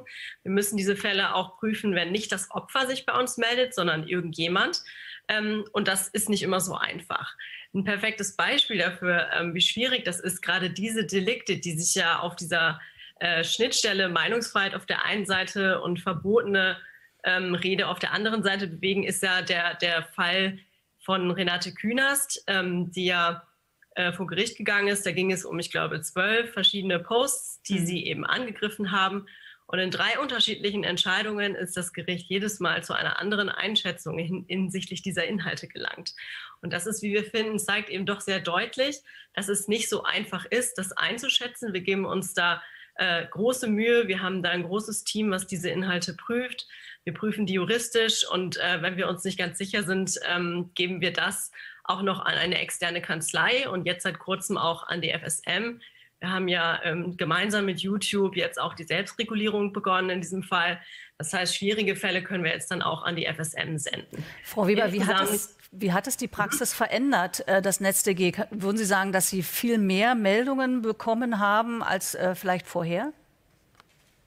Äh, nein, wir haben ja vorher auch sehr viele Meldungen bekommen ähm, und das sieht man ja auch an unseren Gemeinschaftsstandards äh, Enforcement Reports. Wir sind ja sehr transparent darüber. Mittlerweile kann man viermal im Jahr äh, nachlesen, wie viele Meldungen wir bekommen weltweit ähm, und das sind unheimlich viele.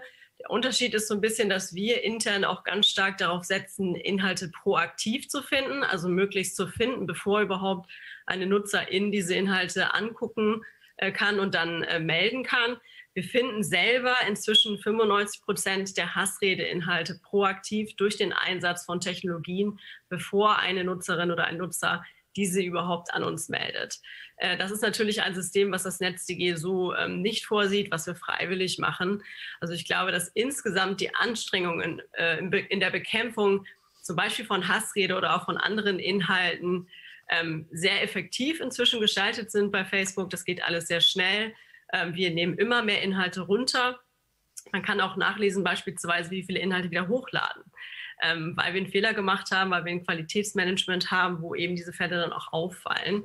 Das NetzDG hat, glaube ich, in der Gesamtkonstellation, wie viel nehmen wir insgesamt runter, nicht so viel geändert. Herr Dreier, äh, an Sie als Wissenschaftler gefragt. Sie sind nun gar nicht betroffen davon, höchstens als Staatsbürger sozusagen. Äh, was würden Sie sagen? Wirkt dieses Gesetz? Oder wenn ja, wie wirkt dieses Gesetz? Kann man das überhaupt äh, einschätzen? Also das NetzDG halte ich für einen äußerst ambivalenten Versuch der sozialen Netzwerkregulierung, ähm, weil es materiell gar nicht, gar nicht viel enthält, sondern es hat im Prinzip konkretisiert, was eine Unverzüglichkeit ist, wenn ein Netzwerkanbieter einen bedenklichen Inhalt findet, weil er nämlich ab dann haftet. Und ähm, da stoßen zwei Paradigmen aufeinander, die wenig kompatibel sind. Nämlich zum einen das Haftungsprivileg dieser Plattform. Das heißt, was ich nicht kenne, dafür hafte ich nicht. Das ist im Prinzip der Anreiz zum Wegschauen. Und das NetzDG, das sagt, äh, sobald du Kenntnis hast, musst du innerhalb von 24 Stunden oder in Zweifelsfällen von sieben Tagen dieses, ähm, diesen, diesen Post löschen. Und das ist schwierig, weil es nämlich, wie wir gerade gehört haben, einen Anreiz dazu setzt, eher zu löschen im Zweifelsfall, beziehungsweise proaktive Verfahren einzuführen, die ähm, auch skalierbar sind. Das NetzDG ist nicht skalierbar. Äh, sondern es geht von Einzelfallentscheidungen aus, was schwierig ist, wenn man pro Tag irgendwie 50 Millionen Einzelpostings auswerten soll. Also das, das funktioniert nicht von der Logik. Und ich glaube, das Problem, was darunter liegt, ist, dass was die Regulierungswissenschaft Regulatory Toolbox nennt, also die Möglichkeit von Gesetzgebern aus einer großen Bandbreite ganz unterschiedlicher Steuerungsmöglichkeiten auszuwählen. Und da gibt es lange viel Erfahrung mit, ähm, wenn es darum geht, welchen Regelungsbereich habe ich hier eigentlich, um welche Rechtsposition oder Schutzziele geht es, welche Regelungsinstrumente äh, stehen mir zur Verfügung oder welche möchte ich wählen. Und das Dritte ist, welche Governance-Struktur brauche ich dann dafür, damit diese Regelungsinstrumente funktionieren. Und diese drei Teile, diese drei Dimensionen müssen sozusagen in Einklang gebracht werden durch den Gesetzgeber. Und das klappt selten, muss man sagen, weil im Zweifel im politischen Diskurs an einer dieser drei Dimensionen wiederum gewerkelt wird. Meistens muss man sagen an den Instrumenten und an den Governance-Strukturen. Und das NetzDG ist so ein Beispiel dafür, dass dort ein Regelungsinstrument gewählt wurde, was mit der derzeitigen Governance-Struktur jedenfalls kaum kompatibel ist, weil wir es nämlich um, ich sag mal, groß, große Mengen an Einzelfallentscheidungen haben, die hier aber einer Aufsichtsbehörde unterstehen, die im Prinzip aus jedem Fall ein Verwaltungsverfahren machen muss. Äh, das BAJ kann da nichts für sozusagen, sondern das ist Verwaltungsrecht. Ähm, deswegen glaube ich, ist das Gesetz wenn es um die Regulatory Toolbox geht und die Entscheidungen, die da getroffen sind, nicht optimal gelaufen. Ähm, und es ist jetzt positiv evaluiert worden. Das nehmen wir zur Kenntnis, auch in der Wissenschaft. Wir müssen allerdings sagen, dass ähm, insbesondere der Abschnitt dazu, der fragt, ob es möglicherweise Overblocking gibt, also ein Überanreiz hm. zur Löschung, ähm, der, dass der Absatz dazu nur sagt, dass man dazu nichts weiß und deswegen ist das Gesetz gut. Und das sieht die Wissenschaft anders. Wenn ich nichts weiß, dann kann ich auch etwas nicht bewerten, sondern da muss ich Kenntnis mir darüber verschaffen, ob es möglicherweise negative Nebeneffekte gibt. Und das ist hier unterblieben und das ist ein Vorwurf, der im Raum steht. Mhm. Wir werden auch noch äh, darüber reden, wie man grundsätzlich äh, so etwas besser regulieren kann, ähm, Gesetze im digitalen Raum. Zunächst noch mal an Sie, Frau Struppler, gefragt. Sie sind als Discovery jetzt nicht direkt betroffen davon, aber natürlich auch als Staatsbürgerin und als Juristin haben Sie auch einen Blick auf dieses Gesetz. Wie ist Ihre Bewertung?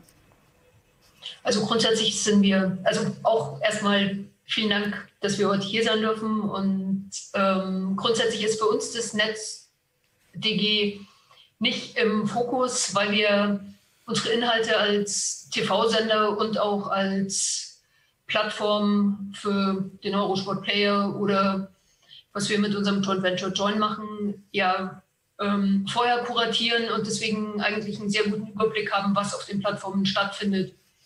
Ähm, ich würde mich da allerdings auch dem Herrn Dreier anschließen, dass es natürlich ein bisschen schwierig ist, wenn man aus ähm, die Regulierung praktisch ähm, in, in der Form gestaltet, dass man dann ähm, sagt, man ähm, macht aus, aus jedem Thema einen Verwaltungsakt, ähm, aber die Gefahr besteht, dass dann eben vorschnell von Seiten des, des Anbieters gelöscht wird.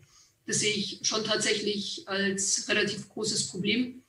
Und wenn man sich so die, ähm, den Schutz der Meinungsfreiheit in Osteuropa anguckt, was jetzt gerade in Polen passiert in Bezug auf die, ähm, die Art und Weise, wie man Pressefreiheit dann wieder von staatlicher Stelle einschränkt, muss man einfach sagen, dass die Gefahr einfach besteht, dass es dann ähm, das Gesetz von Plattformen, aber im schlimmsten Fall auch von der Regierung ähm, möglicherweise ange anders angewendet wird.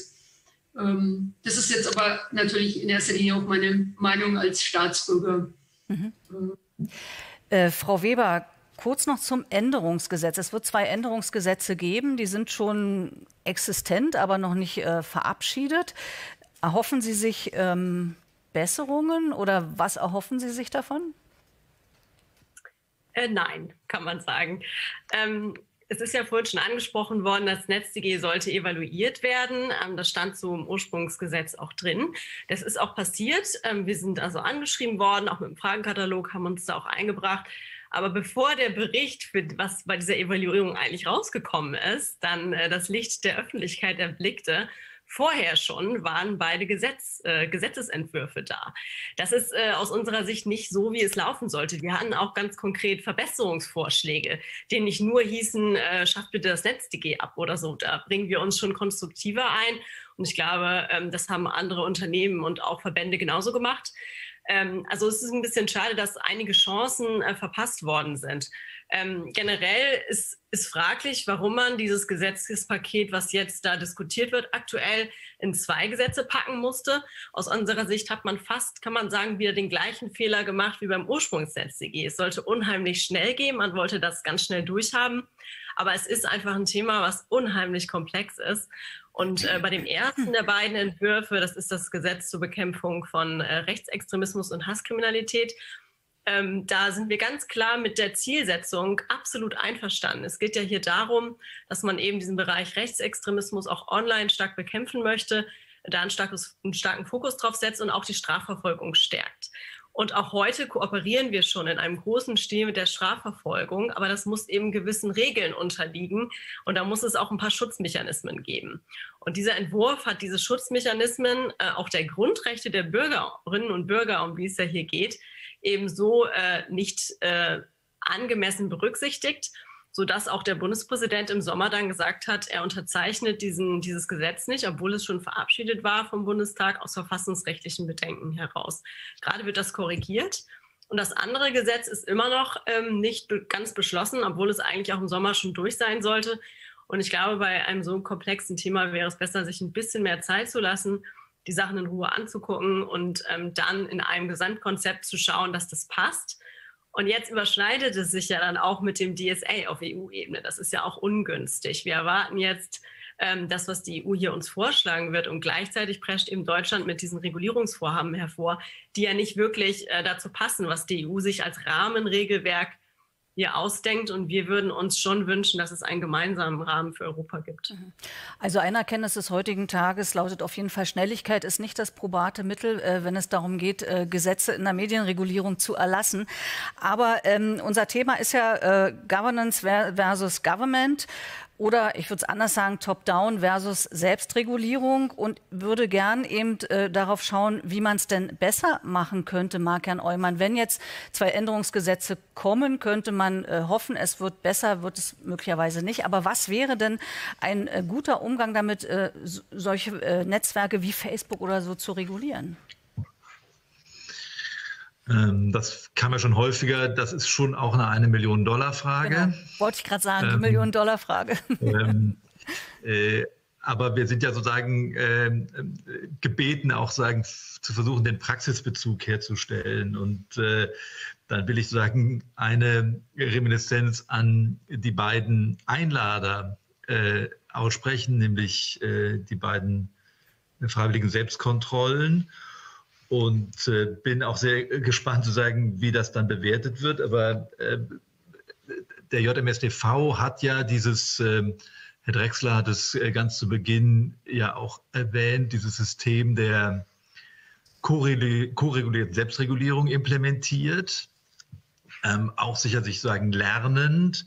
Aber ganz sicher kann man festhalten, dass ähm, mit der Novelle 2016 äh, ähm, da ging es darum, unter anderem darum, äh, die Einführung von Eignungsbeurteilung für geschlossene Systeme äh, zu implementieren und das in diesem Zusammenspiel zwischen Kommission für Jugendmedienschutz und den äh, Selbstkontrollen, dass wir äh, darüber tatsächlich jetzt eine Art ähm, vielleicht ist Erfolgsmodell äh, ein zu großer Begriff, aber doch sagen etwas erzielt haben äh, durch äh, dieses System, von dem man sicherlich 2016 äh, noch nicht so äh, überzeugt hätte sein können, nämlich dass wir seitdem sagen eine äh, doch Vielzahl von ähm, Systemen als geeignet beurteilt haben, auch von Anbietern, die tatsächlich nicht gezwungen sind, die Dinge der KM ähm, äh, zu zeigen. Also ich nenne Netflix, TV Now, äh, Nintendo, Amazon Prime,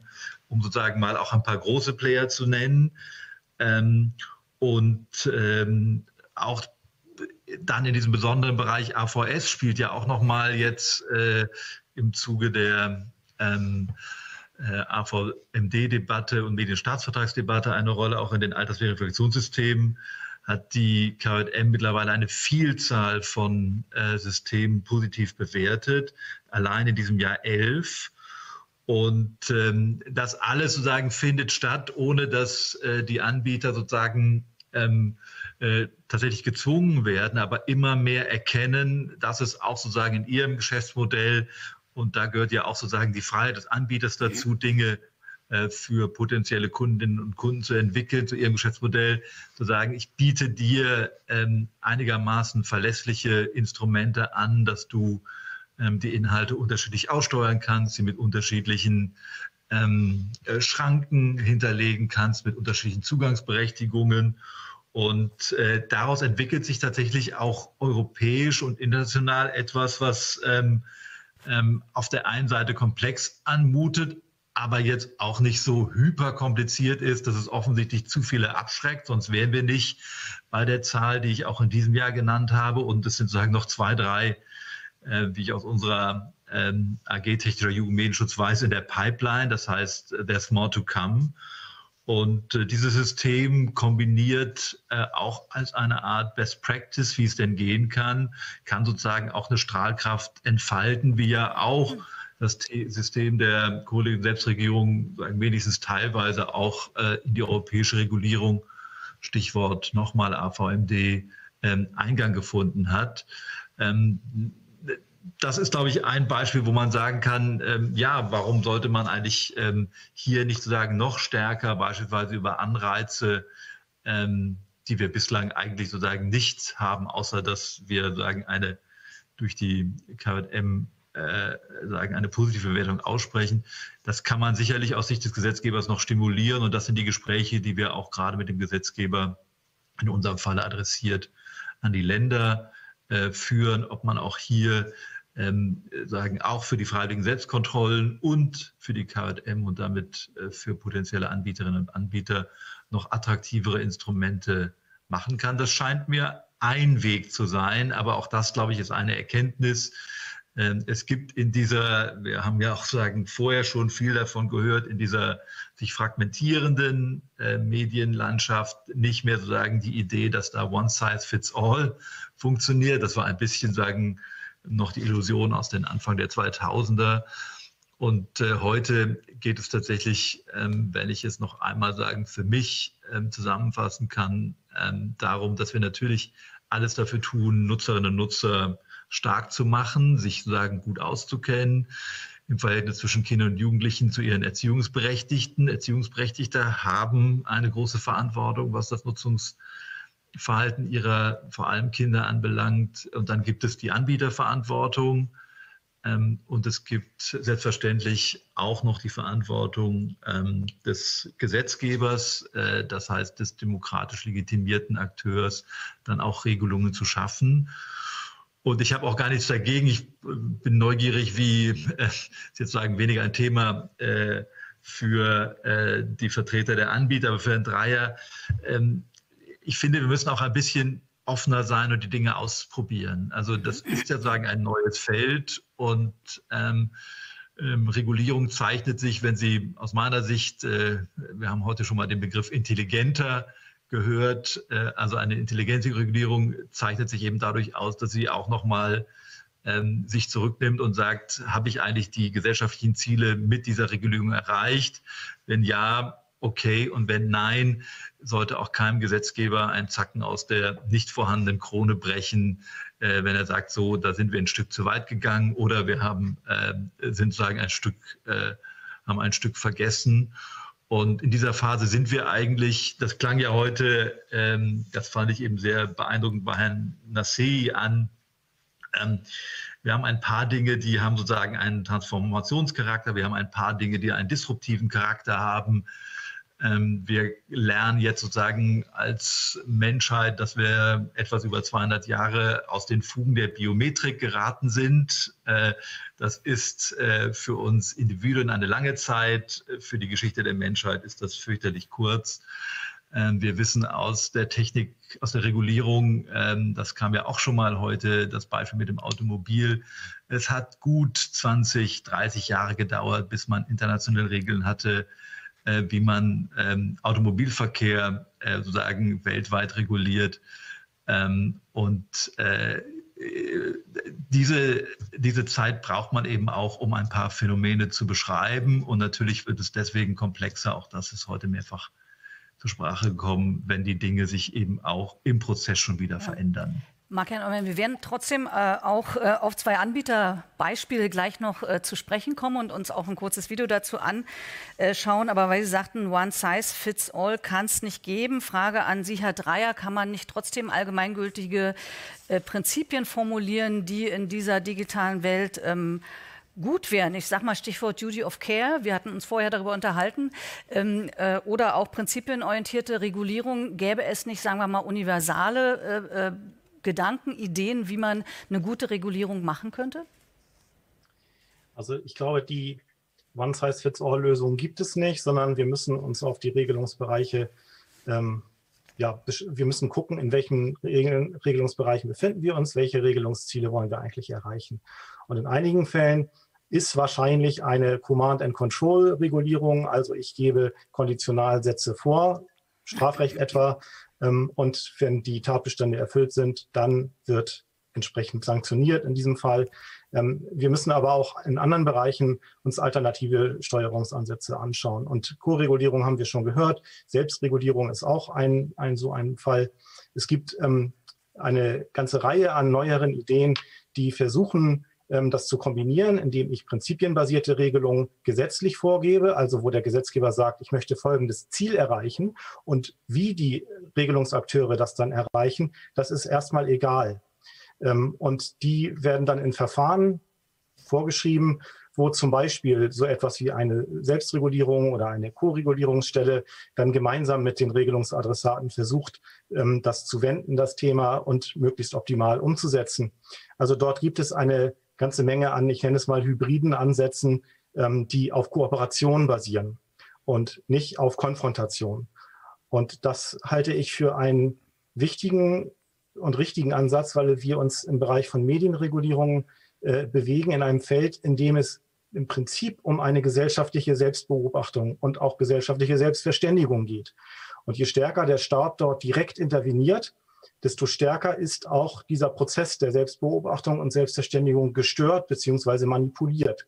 Im schlimmsten Fall äh, bewusst manipuliert durch staatliche Akteure. Also da ist Vorsicht geboten, ganz, ganz prinzipiell im Bereich Medienregulierung. Deswegen sollten wir dort Command-and-Control-Ansätze wirklich nur dort nutzen, wo es auch zwingend erforderlich ist. Strafrecht hatte ich als Beispiel genannt. Selbstbeobachtung ist ein gutes äh, Stichwort. Wir wollen mal zwei Beispiele jetzt zeigen äh, von Anbietern, wie sie sich äh, selbst beobachten im positiven Sinne. Und ähm, wir haben ein Beispiel von Discovery, fangen aber erst mit einem Beispiel von Facebook an. Äh, Facebook will ja den Prozess der Löschung transparenter machen. Äh, mit einem neuen Gremium soll das künftig äh, geschehen. Abschließend will man da umstrittene Beiträge darüber befinden. Und zwar unabhängig äh, vom Netzwerk und der Meinung des Gründers, äh, wie ich gelesen habe. Das Oversight Board wird das sein. Und dazu sehen wir jetzt einen kurzen Trailer, der ein bisschen erklärt, was da passieren soll. While Facebook will continue to make content decisions every day, we are creating the Oversight Board, a group of up to 40 experts who will review the most challenging content disputes on Facebook and Instagram. The intention of the board is to make principled decisions on content that support people's ability to express themselves. The board's design was based on input from more than 2,000 people who offered their thoughts in a variety of ways, from global workshops to online submissions. They included vocal critics of Facebook, along with experts from a spectrum of regions, viewpoints, and cultures, with experience in journalism, technology, civil rights, and many other disciplines in both the public and private sectors.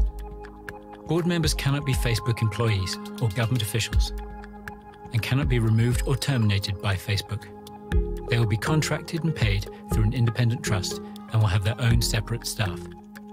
The board will decide which cases to review, concentrating on the challenges with the widest impact and greatest public interest. It will then share and explain its decisions. Facebook has committed to accepting those binding decisions and to make its responses public.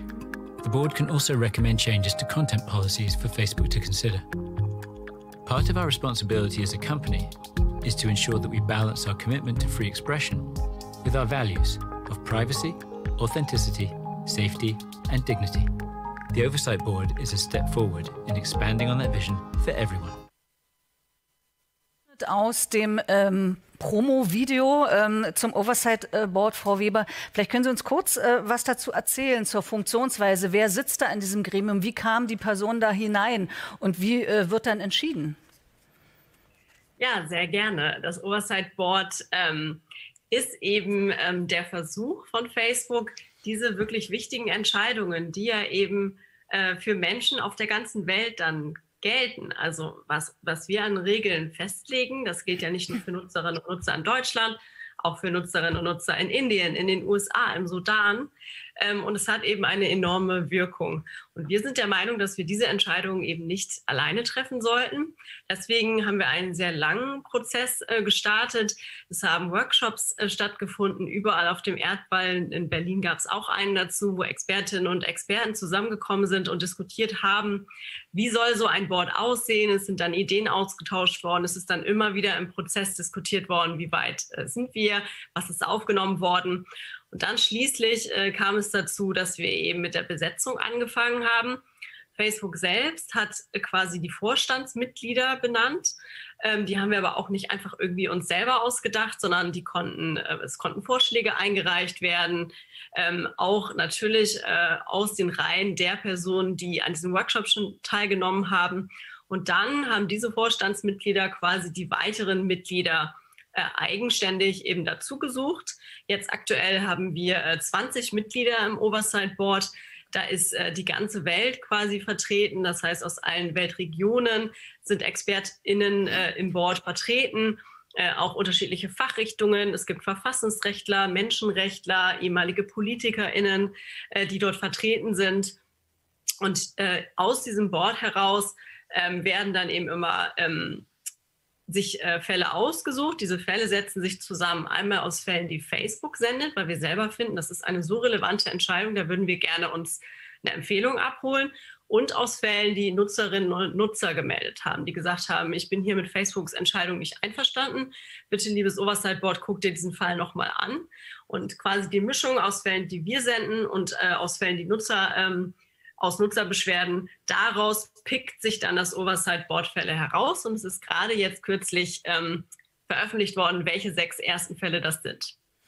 Genau, vielleicht noch eine Zahl von mir. Seit Oktober können Nutzer äh, da ihre Einsprüche gegen Inhalte Entscheidungen beim Board einreichen. Und habe ich gelesen auf Ihrer Seite, bis mehr als 20.000 solche Einsprüche sind inzwischen eingelegt worden. Und tatsächlich geht es jetzt mit den ersten los. Vielleicht können Sie ein Beispiel nennen oder zwei, was da jetzt als erstes entschieden wird? Ja, ein Beispiel ist zum Beispiel ein Zitat, ähm, dass jemand, also jemand hat eben nicht selber etwas geschrieben, sondern hat ein Zitat genutzt und dieses Zitat wird Goebbels zugerechnet. Jetzt ist das kein Zitat mit einem typischen Nazi-Inhalt, sondern es geht darum, dass ähm, dass es sinnvoll ist, die Massen emotional anzusprechen und dass Fakten hier keine Rolle spielen. Und das Zitat soll eben Goebbels so gesagt haben. Das hat Facebook runtergenommen, weil wir eben eine Policy haben, die quasi verbietet, dass ähm, sogenannte Hasspersonen oder Hassorganisationen eine Präsenz auf unserer Plattform haben dürfen. Und damit ist, äh, geht dann auch einher, dass man sie nicht praisen darf, lobpreisen darf oder man sagt, ich bin Goebbels-Fan oder ähnliches. Und das ist eben ein Grenzfall. Was ist bei so einem Zitat, was so auch viele andere hätten sagen können? Ähm, und jetzt guckt sich das Oversight Board das eben an. Das ist auf eine Nutzerbeschwerde ging das äh, ähm, an das Board. Und der Nutzer, der das eben gepostet hat, hat gesagt, ich habe das gar nicht so gemeint. Ich wollte hier nicht irgendwie sagen, ich bin Goebbels-Fan, sondern der Nutzer hat gesagt, das ist ein wichtiges Zitat, weil es eben zeigt, wie aktuell in manchen Regionen dieser Welt Politik gemacht wird, wo eben Emotionen mehr zählen als Fakten. Und das ist eben ein, ein schwieriger Fall. Das ist einer von vielen. Ähm, und das Board ähm, wird sich diesen Fall jetzt angucken. Die haben jetzt dann 90 Tage, um eine Entscheidung zu treffen. Und wir sind natürlich schon sehr gespannt, was da rauskommt. Kurze Frage noch dazu. Wie, wie bekommen Sie das hin, dass das dann internationale Gültigkeit hat? Wie, wie, wie schafft man das? Naja, also wir haben einfach versucht, in der Besetzung dieses Boards wirklich auf eine regionale äh, Repräsentanz zu achten, dass eben wirklich jetzt nicht nur irgendwie Nordamerikaner und Europäer da drin sitzen, sondern Leute aus dem afrikanischen äh, Raum, aus, äh, aus dem asiatischen Raum und wirklich unterschiedlichste ähm, ja, Fachrichtungen, die da vertreten sind. Und am Ende gibt dieses Board eine Entscheidung äh, bekannt, wie sie diesen Fall eben äh, beurteilt haben. Und sie können auch Empfehlungen aussprechen, wie Facebook seine eigenen Regeln, also seine eigenen Policies verändern soll. Und Beachtung international findet das eben daher, dass diese Entscheidungen natürlich eine Richtwirkung haben dafür, wie Facebook mit solchen Fällen umgeht. Und die Grundlage, warum das für so viele Menschen gilt, ist, dass wir ein Regelwerk haben, die Gemeinschaftsstandards, so wie wir das bei uns nennen, die eben international gelten. Es ist also ein Regelwerk, was über die Landesgrenzen hinweg überall gleich gilt. Und daher hat natürlich so eine Entscheidung auch eine ganz, schön, äh, ganz schöne Richtungs- äh, und kann vielleicht auch in Zukunft beeinflussen, inwiefern Facebook in die eine oder in die andere Richtung entscheiden wird, bei Fällen, die wir eben dann wieder selber entscheiden.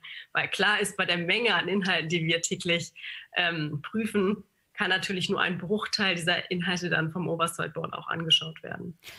Stefan Dreier, wäre das eine, ist das eine richtungsweisende Form, wie man zukünftig äh, Plattformen selbst regulatorisch äh, gestalten kann? Also es ist eine mögliche Form. Ob es die optimale ist, wird auch ähm, die Zukunft zeigen, wie diese Boards dann in diese Governance-Struktur hineinpassen und wie auch ihr Selbstverständnis sich dabei ausbildet. Ähm, also als ein, ich nenne es jetzt mal plural, global, plural zusammengesetztes Gremium, äh, wird der Druck immens sein, dort auch eine global gültige Entscheidung zu treffen, was etwas konfligieren kann in Zukunft, mit nationalen oder regionalen Rechtsrahmen, die bestimmte Meinungsäußerungen zum Beispiel erlauben oder gerade nicht erlauben. Ähm, also die Holocaustleugnung zum Beispiel ist ähm, ein Beispiel, was äh, in vielen Ländern strafrechtlich verfolgt, verboten und verfolgt wird, ähm, in einigen Ländern aber nicht. Und das, das ist jetzt ein aus deutscher Sicht schlechtes Beispiel, aber wenn das äh, ähm, das Board sich bei Facebook dazu entscheidet, so etwas nicht zuzulassen, dann stellt sich auf der einen Frage, ob ähm, dann nicht Grundrechte berührt sind in den Ländern, wo Grundrechte bestehen, die das umfassen, diese Art von Äußerung. Ähm, wenn das Board sich dagegen entscheidet und sagt, das ist global und ähm, das ist global zulässig, dann kommen natürlich Regionen wie die EU und Länder wie Deutschland damit ins Gehege und sagen, nee, bei uns ist das aber strafrechtlich verboten. Also da treffen dann zwei Ebenen äh, aufeinander, die nicht immer kompatibel sind. Das ist ein Problem, was wir im Prinzip seit Anfang der 90er kennen, als das Internet äh, ja zum Mainstream wurde sozusagen, dass dort nationale Rechtsrahmen an globale Kommunikationsnetzwerke stoßen. Frau Weber, ich habe gesehen, Sie haben gerade was in den Chat geschrieben, was ich aber nicht lesen konnte, weil es zu klein war. Wollten Sie darauf noch äh, äh etwas erwidern?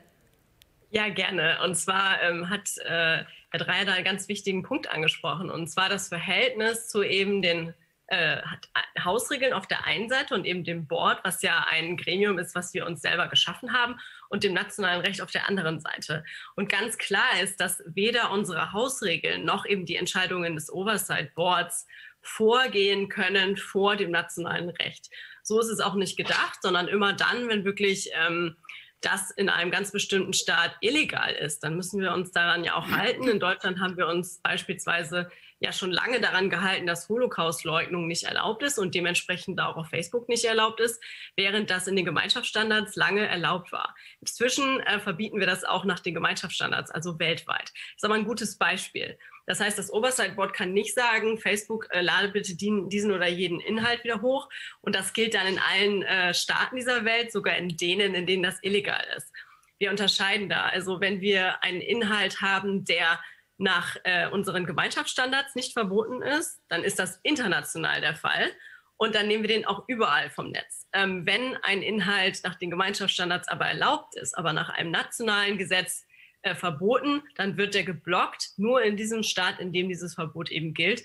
Und so wird das eben in solchen Fällen dann auch gemacht. Das heißt, wir müssen da differenzieren. Danke, Frau Weber. Wir werden schauen, wie sich das weiterentwickelt. Äh, und äh, ich gehe damit jetzt ein bisschen weg vom NetzDG zum klassischen Jugendschutz. Dort gibt es natürlich auch Anbieteraktivitäten. Ähm, und damit will ich eben auch den Übergang schaffen zu zwei weiteren Regulierungsfeldern, dem Jugendschutzgesetz und dem JMSTV. Beides wurde ja schon erwähnt. Frau Struppler, Sie haben ein Tool entwickelt, das die Altersklassifizierung und Bewertung von Inhalten vereinfacht. Dieses Tool heißt Max. Und äh, wir schauen jetzt auch gleich mal in ein kurzes Erklärvideo und äh, sehen daraus einen Ausschnitt. Um die immer wiederkehrenden Routinearbeiten zu reduzieren, haben wir Max entwickelt. Max steht für Machine Readable Age Classification Expertise. Max wird der beste Freund von Hajo, denn Max macht Hajos Leben wieder leichter. Hajo merkt nun mit Max Hilfe bereits während des Screenings relevante Programmstellen an und bewertet sie in Echtzeit. Dabei nimmt Max Hajo alle Stereotypen, Dateneingaben, Formulierungen, Übertragungen, Übersetzungen, Textbearbeitungen, Antragstellungen, Formularausfüllungen und Notizen ab.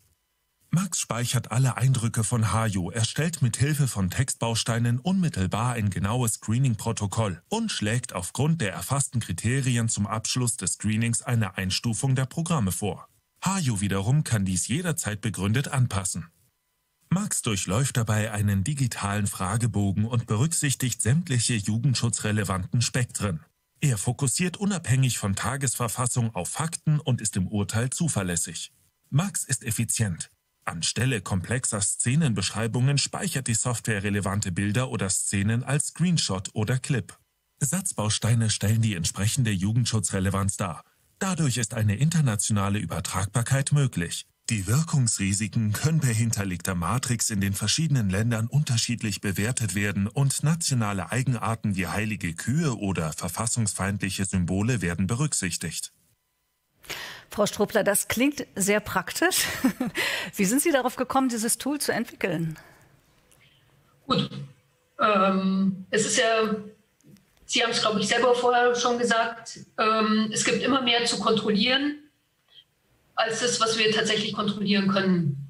Und mit der Fülle an Content, die man sich, die Fernsehsender mittlerweile evaluieren müssen und, und auch wollen, um sicherzustellen, dass die ähm, Jugendschutzstandards eingehalten werden, muss man natürlich irgendwie zumindest im Kleinen und wir sind da anders als Facebook sehr regional unterwegs gewesen im ersten Ansatz, weil wir haben auf dem Grundsatz, dass wir gerne in der koregulierten Selbstregulierung uns ja schon ähm, auch mit der FSF immer zusammentun, haben unsere Jugendschutzbeauftragten einfach festgestellt, es gibt immer mehr, ähm, mehr Content und wir müssen da ein Stück weit schneller werden. Wir müssen das transparenter aufsetzen können und wir müssen auch sicherstellen, dass es, dass die Bewertung im Einzelfall ähm, immer den gleichen von Vorgaben des Jugendmedienschutzes entspricht. Ähm, deswegen ist eigentlich, ähm, was wir da gemacht haben, ist, wir haben eine Annotationssoftware genommen und die verbunden mit der ähm, einer von uns entwickelten Matrixstruktur, wo wir eben die Bewertungen des Jugendmedienstaatsvertrags und auch was die FSF uns an Vorgaben oder was die FSF an Vorgaben entwickelt hat, das haben wir standardisiert und mit entsprechenden Bewertungen versehen.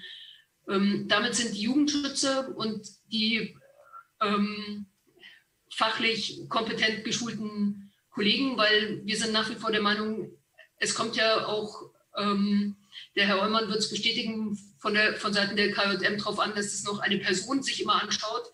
Diese Punkte haben wir versucht zu verbinden, indem wir mit der Annotationssoftware sicherstellen, dass ähm, man sehr schnell anschauen kann, was in dem jeweiligen in der jeweiligen Bildsequenz ist und gleichzeitig dann mit der entsprechenden Bewertung die Geschwindigkeit schafft, dass man transparent darstellt, was ähm, das jeweilige Problem ist und wie man dann eben einstufen kann, ob das jetzt ein ähm, für unter Zwölfjährige geeigneter Content ist, für 16-Jährige oder für 18-Jährige.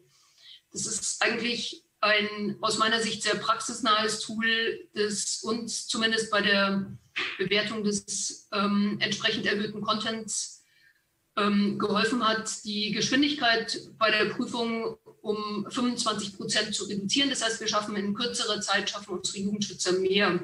Das ist für ähm, kommerzielle Unternehmen immer sehr wichtig gerade in so Bereichen wie Corporate Governance, Compliance, die ja auch immer wieder rechtfertigen müssen, dass sie, gerade wenn es gut läuft ähm, und es keine Beschwerden gibt, ähm, ihre Rechtfertigung haben. Ähm, und ähm, insofern ist es aus, aus unserer Sicht ein, eine, schon für uns im Haus eine sehr gelungene Lösung, dass wir den, den Kollegen im Jugendschutz, die das auch eigentlich, also eigenständig entwickelt haben, ähm, ein, ein, ja, ein Tool an die Hand gegeben haben, mit dem sie das entsprechend ähm, positiv gestalten können.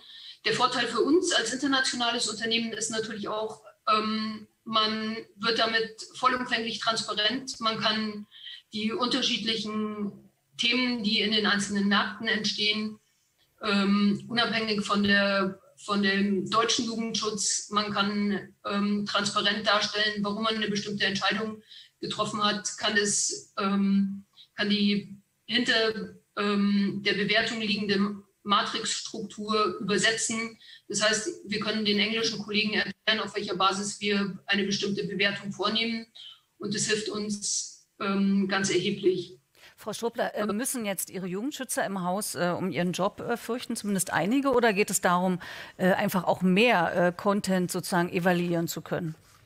Ja, ich habe ja eingangs gesagt, wir haben ähm, immer mehr Content, beispielsweise bei uns. Wir haben innerhalb von den letzten sechs Jahren zwei zusätzliche Free-to-Air-Kanäle gestartet, haben Eurosport dazu erworben, kürzlich noch Tele 5. Also wir haben immer mehr Content ähm, und der muss natürlich entsprechend evaluiert werden. Kein Jugendschützer muss aus unserer Sicht da um seinen Job fürchten. Es ist vielmehr für meine Begriffe ungeheuer wichtig, dass man ähm, die Themen, die auch für den einen oder anderen Kollegen möglicherweise ein bisschen lästig ist, lästig sind, nämlich zum Beispiel die Frage, wie intensiv muss ich denn eigentlich so ein Gutachten aufsetzen? Das kann ich ja mit einer, einer Software, wenn ich da praktisch die Annotation im, im, in der Bildsprache schon habe, kann ich mir einfach viel Zeit sparen. Ich kann mit, ähm, das Tool hat mittlerweile eine, eine Sprachsteuerung.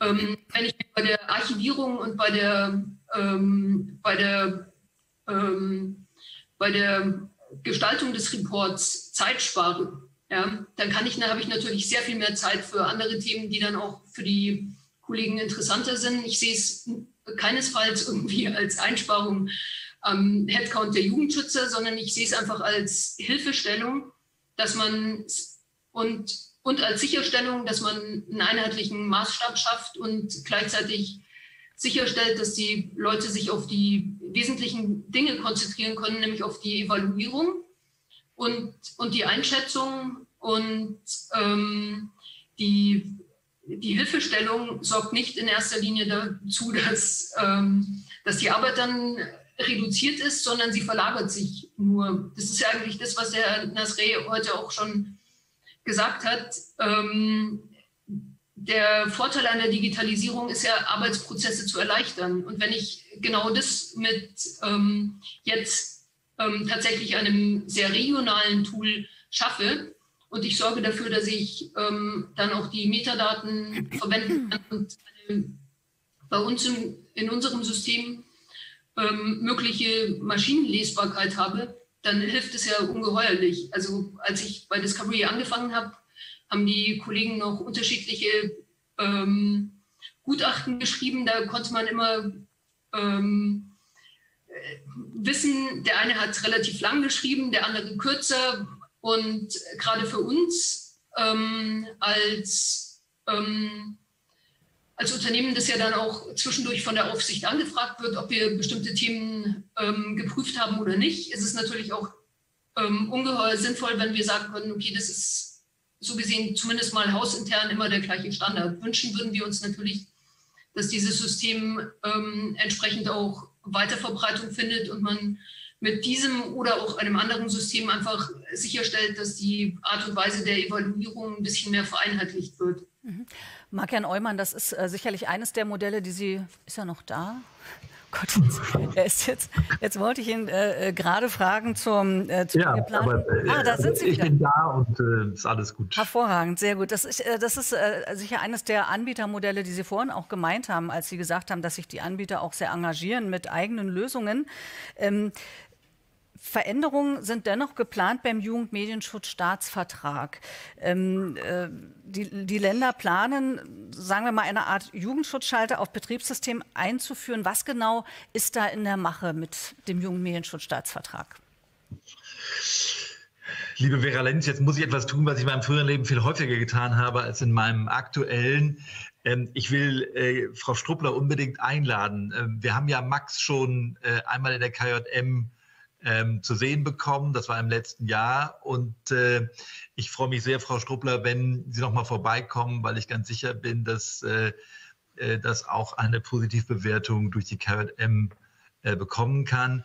Aber was ähm, klar geworden ist an dem Beispiel, dass sich tatsächlich die Anbieter auf den Weg machen, wie gehe ich mit diesen wahnsinnigen Quantitäten um. Das geht in der Tat äh, heute nur noch. Und wenn wir dann über ähm, äh, Telemedienangebote und äh, nutzergenerierten Content reden, äh, brauchen wir auch maschinelles Lernen als Ergänzung zur Erkennung. Aber richtig ist, im Zweifelsfall muss immer ein Mensch äh, ähm, drüber schauen, weil es natürlich immer auch dieser Spagat ist, äh, ähm, den hatten wir vorhin schon mal ähm, zwischen ähm, Meinungsfreiheit und möglicherweise dem Tangieren von auch äh, Strafrecht und anderen Dingen. Und hier eben um die Frage, hat es eine entwicklungsbeeinträchtigende Dimension, ja oder nein? aber da gehören solche schönen Beispiele dazu. Tatsächlich ist es so, ich will es einmal ganz kurz ganz kurz ist, also ich könnte es mir ganz kurz machen. Ich könnte ganz kurz sagen, und lesen Sie einfach die Stellungnahmen von Herrn Dreier und Herrn Schulz zum. Genau, wir haben noch sieben äh, Minuten, also ein oder zwei Jugend, Minuten wäre super. Genau, Jugendschutzgesetz. Äh, lesen Sie die Stellungnahme der FSM und der FSM zum Jugendschutzgesetz und dann haben Sie ein etwa das Problem, was wir da stehen. Ich will es äh, tatsächlich so knapp, so kurz machen, wie es nur irgend geht. Und das heißt, wir glauben, dass äh, der Juschk, so wie er jetzt vorgelegt wird, eben nicht zu einem kohärenten ähm, Kinder- und Jugendmedienschutz in Deutschland führt, sondern es werden Doppelstrukturen geschaffen, neue Schnittstellen, über die man sich dann verständigen muss. Und ganz sicher, das habe ich eingangs schon gesagt, äh, doch erhebliche verfassungsrechtliche Bedenken mit Blick auf die Rolle dieser Bundeszentrale, die auch in eine Inhalteprüfung geht. Ähm, sehr schön beschrieben hat Herr Dreier und Herr Schulz, haben Dreier und Schulz auch, dass der Bund zwar mit allen geredet hat, aber zu einem Zeitpunkt, als es äh, noch keine konkreten Texte gab. Das machten die Länder jetzt anders. Ich war selbst in der letzten Woche beim vierten Fachgespräch zum Entwurf des JMSTV dabei und kann Ihnen sagen, ähm, dass die Länder durch die Fachgespräche, an denen ja auch die Selbstkontrollen dabei waren, aber auch ähm, Technik, Wissenschaft, äh, weitere Akteure, dass die Idee zu sagen, wir versuchen sozusagen eine Betriebssystem, äh, vielleicht auch eine Browserlösung, um äh, da äh, möglichst barrierearm äh, Schutz für Kinder und Jugendliche zu erreichen, dass diese Idee im Prinzip gut und richtig ist, aber der Teufel in vielen Details steckt. Es sind viele Teufel in vielen Details. Und ich habe die Länder so verstanden, dass sie äh, sehr genau zugehört haben, was ihnen die jeweiligen Akteurinnen und Akteure gesagt haben. Und ich gehe davon aus, dass es sozusagen im Frühjahr einen neuen Entwurf geben wird, der äh, die Argumente, die in den Fachgesprächen gekommen sind, sehr berücksichtigen wird. Und ich gehe auch davon aus, dass das bestehende System möglicherweise durch Anreize eher gestärkt wird. Und äh, das, was Herr Dreier auch beschrieben hat, dass Sie sagen, Ziele beschreiben und das dann sozusagen der korrigierten Selbstregulierung in der Verwirklichung dieser Ziele anheimstellen. Also in meiner Bewertung, das sage ich aber jetzt nicht als KLM-Vorsitzender, ein anderer Prozess als den, den der Bund organisiert hat. Aus meiner Sicht sehr viel ähm, offener und dialogorientierter. Und deswegen freue ich mich auch, diesen Entwurf dann im Frühjahr ähm, beurteilen zu können. Dankeschön, äh, Marc-Jan Eumann. Wir haben jetzt noch fünf Minuten, darum äh, möchte ich kurz noch Herrn Dreier äh, bitten, äh, eine kurze Bewertung zum Juschk. Das würde mich noch interessieren. Da, äh, der ist ja auch noch nicht beschlossen, aber er liegt schon vor. Er muss noch sozusagen abgesegnet werden. Hat ja viel Kritik geerntet, haben wir auch hier in der Runde gehört. Gibt es auch Aspekte, wo Sie sagen, da hat der Staat ein Stück nach vorn gedacht, da ist wirklich so, sozusagen was mit reingenommen worden, was wir brauchen? Ja, also auch das JOSC ist ein schönes Beispiel dafür, wie komplex Regulierung sein kann, weil hier auch noch Fragen der Gesetzgebungskompetenz dazukommen äh, und später dann der Vollzugskompetenz. Ähm, die, das Juschk ist deswegen aus meiner Sicht nicht nur negativ, sondern auch positiv zu sehen, weil es an zwei Stellen weiterdenkt, als wir das bisher im äh, Jugendmedienschutzstaatsvertrag getan haben. Das eine betrifft nämlich die ähm, Einziehung oder die Miteinbeziehung von neuen Risikokategorien, in diesem Fall vor allen Dingen Interaktionsrisiken. Das ist etwas, was der JMSTV, der vor allen Dingen an mediale Darstellungen anknüpft, nur sehr begrenzt mitdenken kann. Das heißt also, da hat der Bund tatsächlich einen Impuls gesetzt, der sich jetzt auch in den JMSTV-Eckpunkten der Länder wiederfindet. Also es scheint auch dort eine Offenheit für, für die Erweiterung der Schutzziele im Jugendschutz zu geben. Und das ist aus wissenschaftlicher Sicht eine tolle Sache, weil das um gute zwölf Jahre her ist, dass zum ersten Mal gesagt wurde, wir müssen diese Interaktionsrisiken eigentlich vom staatlichen Jugendschutzauftrag umfasst sehen. Und insofern ist das eine Bewegung nach vorne. Das Zweite ist, dass wenn wir über Interaktionsrisiken sprechen, es um oft Individualkommunikation geht, wo wir keinen Einblick, also weder als Staat noch als Außenstehende äh, reinkriegen. Das heißt, ähm, wir können mit klassischen Ansätzen, die an mediale Darstellung anknüpfen, auch dort nicht weiterkommen, sondern wir müssen gucken, ob es Möglichkeiten gibt, etwa auf Plattformebene, auf Infrastrukturebene Vorsorgemaßnahmen einzuziehen, die dann Kinder und Jugendliche nutzen können, wenn dort ein Risiko äh, sich bewahrheitet. Ähm, und auch da hat das Juschk ähm, einen ersten Schritt in, die, in diese Richtung gemacht, indem es eben Vorsorgemaßnahmen für bestimmte Plattformen vorsieht. Also insofern, äh, da sind gute Ideen bei. Ähm, es bleibt die grundsätzliche Frage, ob die Regulatory Toolbox hier optimal genutzt wurde, wenn es darum geht, die Regelungsstrukturen und die Akteursstrukturen dazu kombinieren. Dankeschön. Das war auch schon fast das Schlusswort. Wir, ich mache eine kurze äh, Schlussrunde. Unser, äh, unsere Veranstaltung hieß zwischen Government und Governance äh, oder anders gefragt, brauchen wir mehr Staat oder mehr Selbstregulierung? Frage mit Bitte um kurze Antwort. Ich fange bei Ihnen an, Herr Dreier. Wie kann man es auf den Punkt bringen? Äh, wir brauchen auf jeden Fall mehr Diskurs, und zwar sowohl auf der politischen und staatlichen, gesetzgeberischen Ebene, aber, das haben wir heute auch gehört, äh, auf gesellschaftlicher Ebene.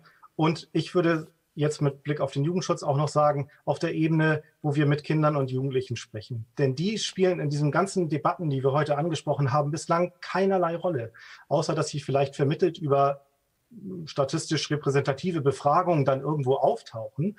Aber gefragt hat, hat die niemand. Und deswegen am Ende mein Plädoyer, ähm, mehr Diskurs, mehr Gespräch, äh, gemeinsam an guten Lösungen arbeiten. Dankeschön. Frau Struppler, Sie sind äh, die nächste zumindest auf meinem Bildschirm.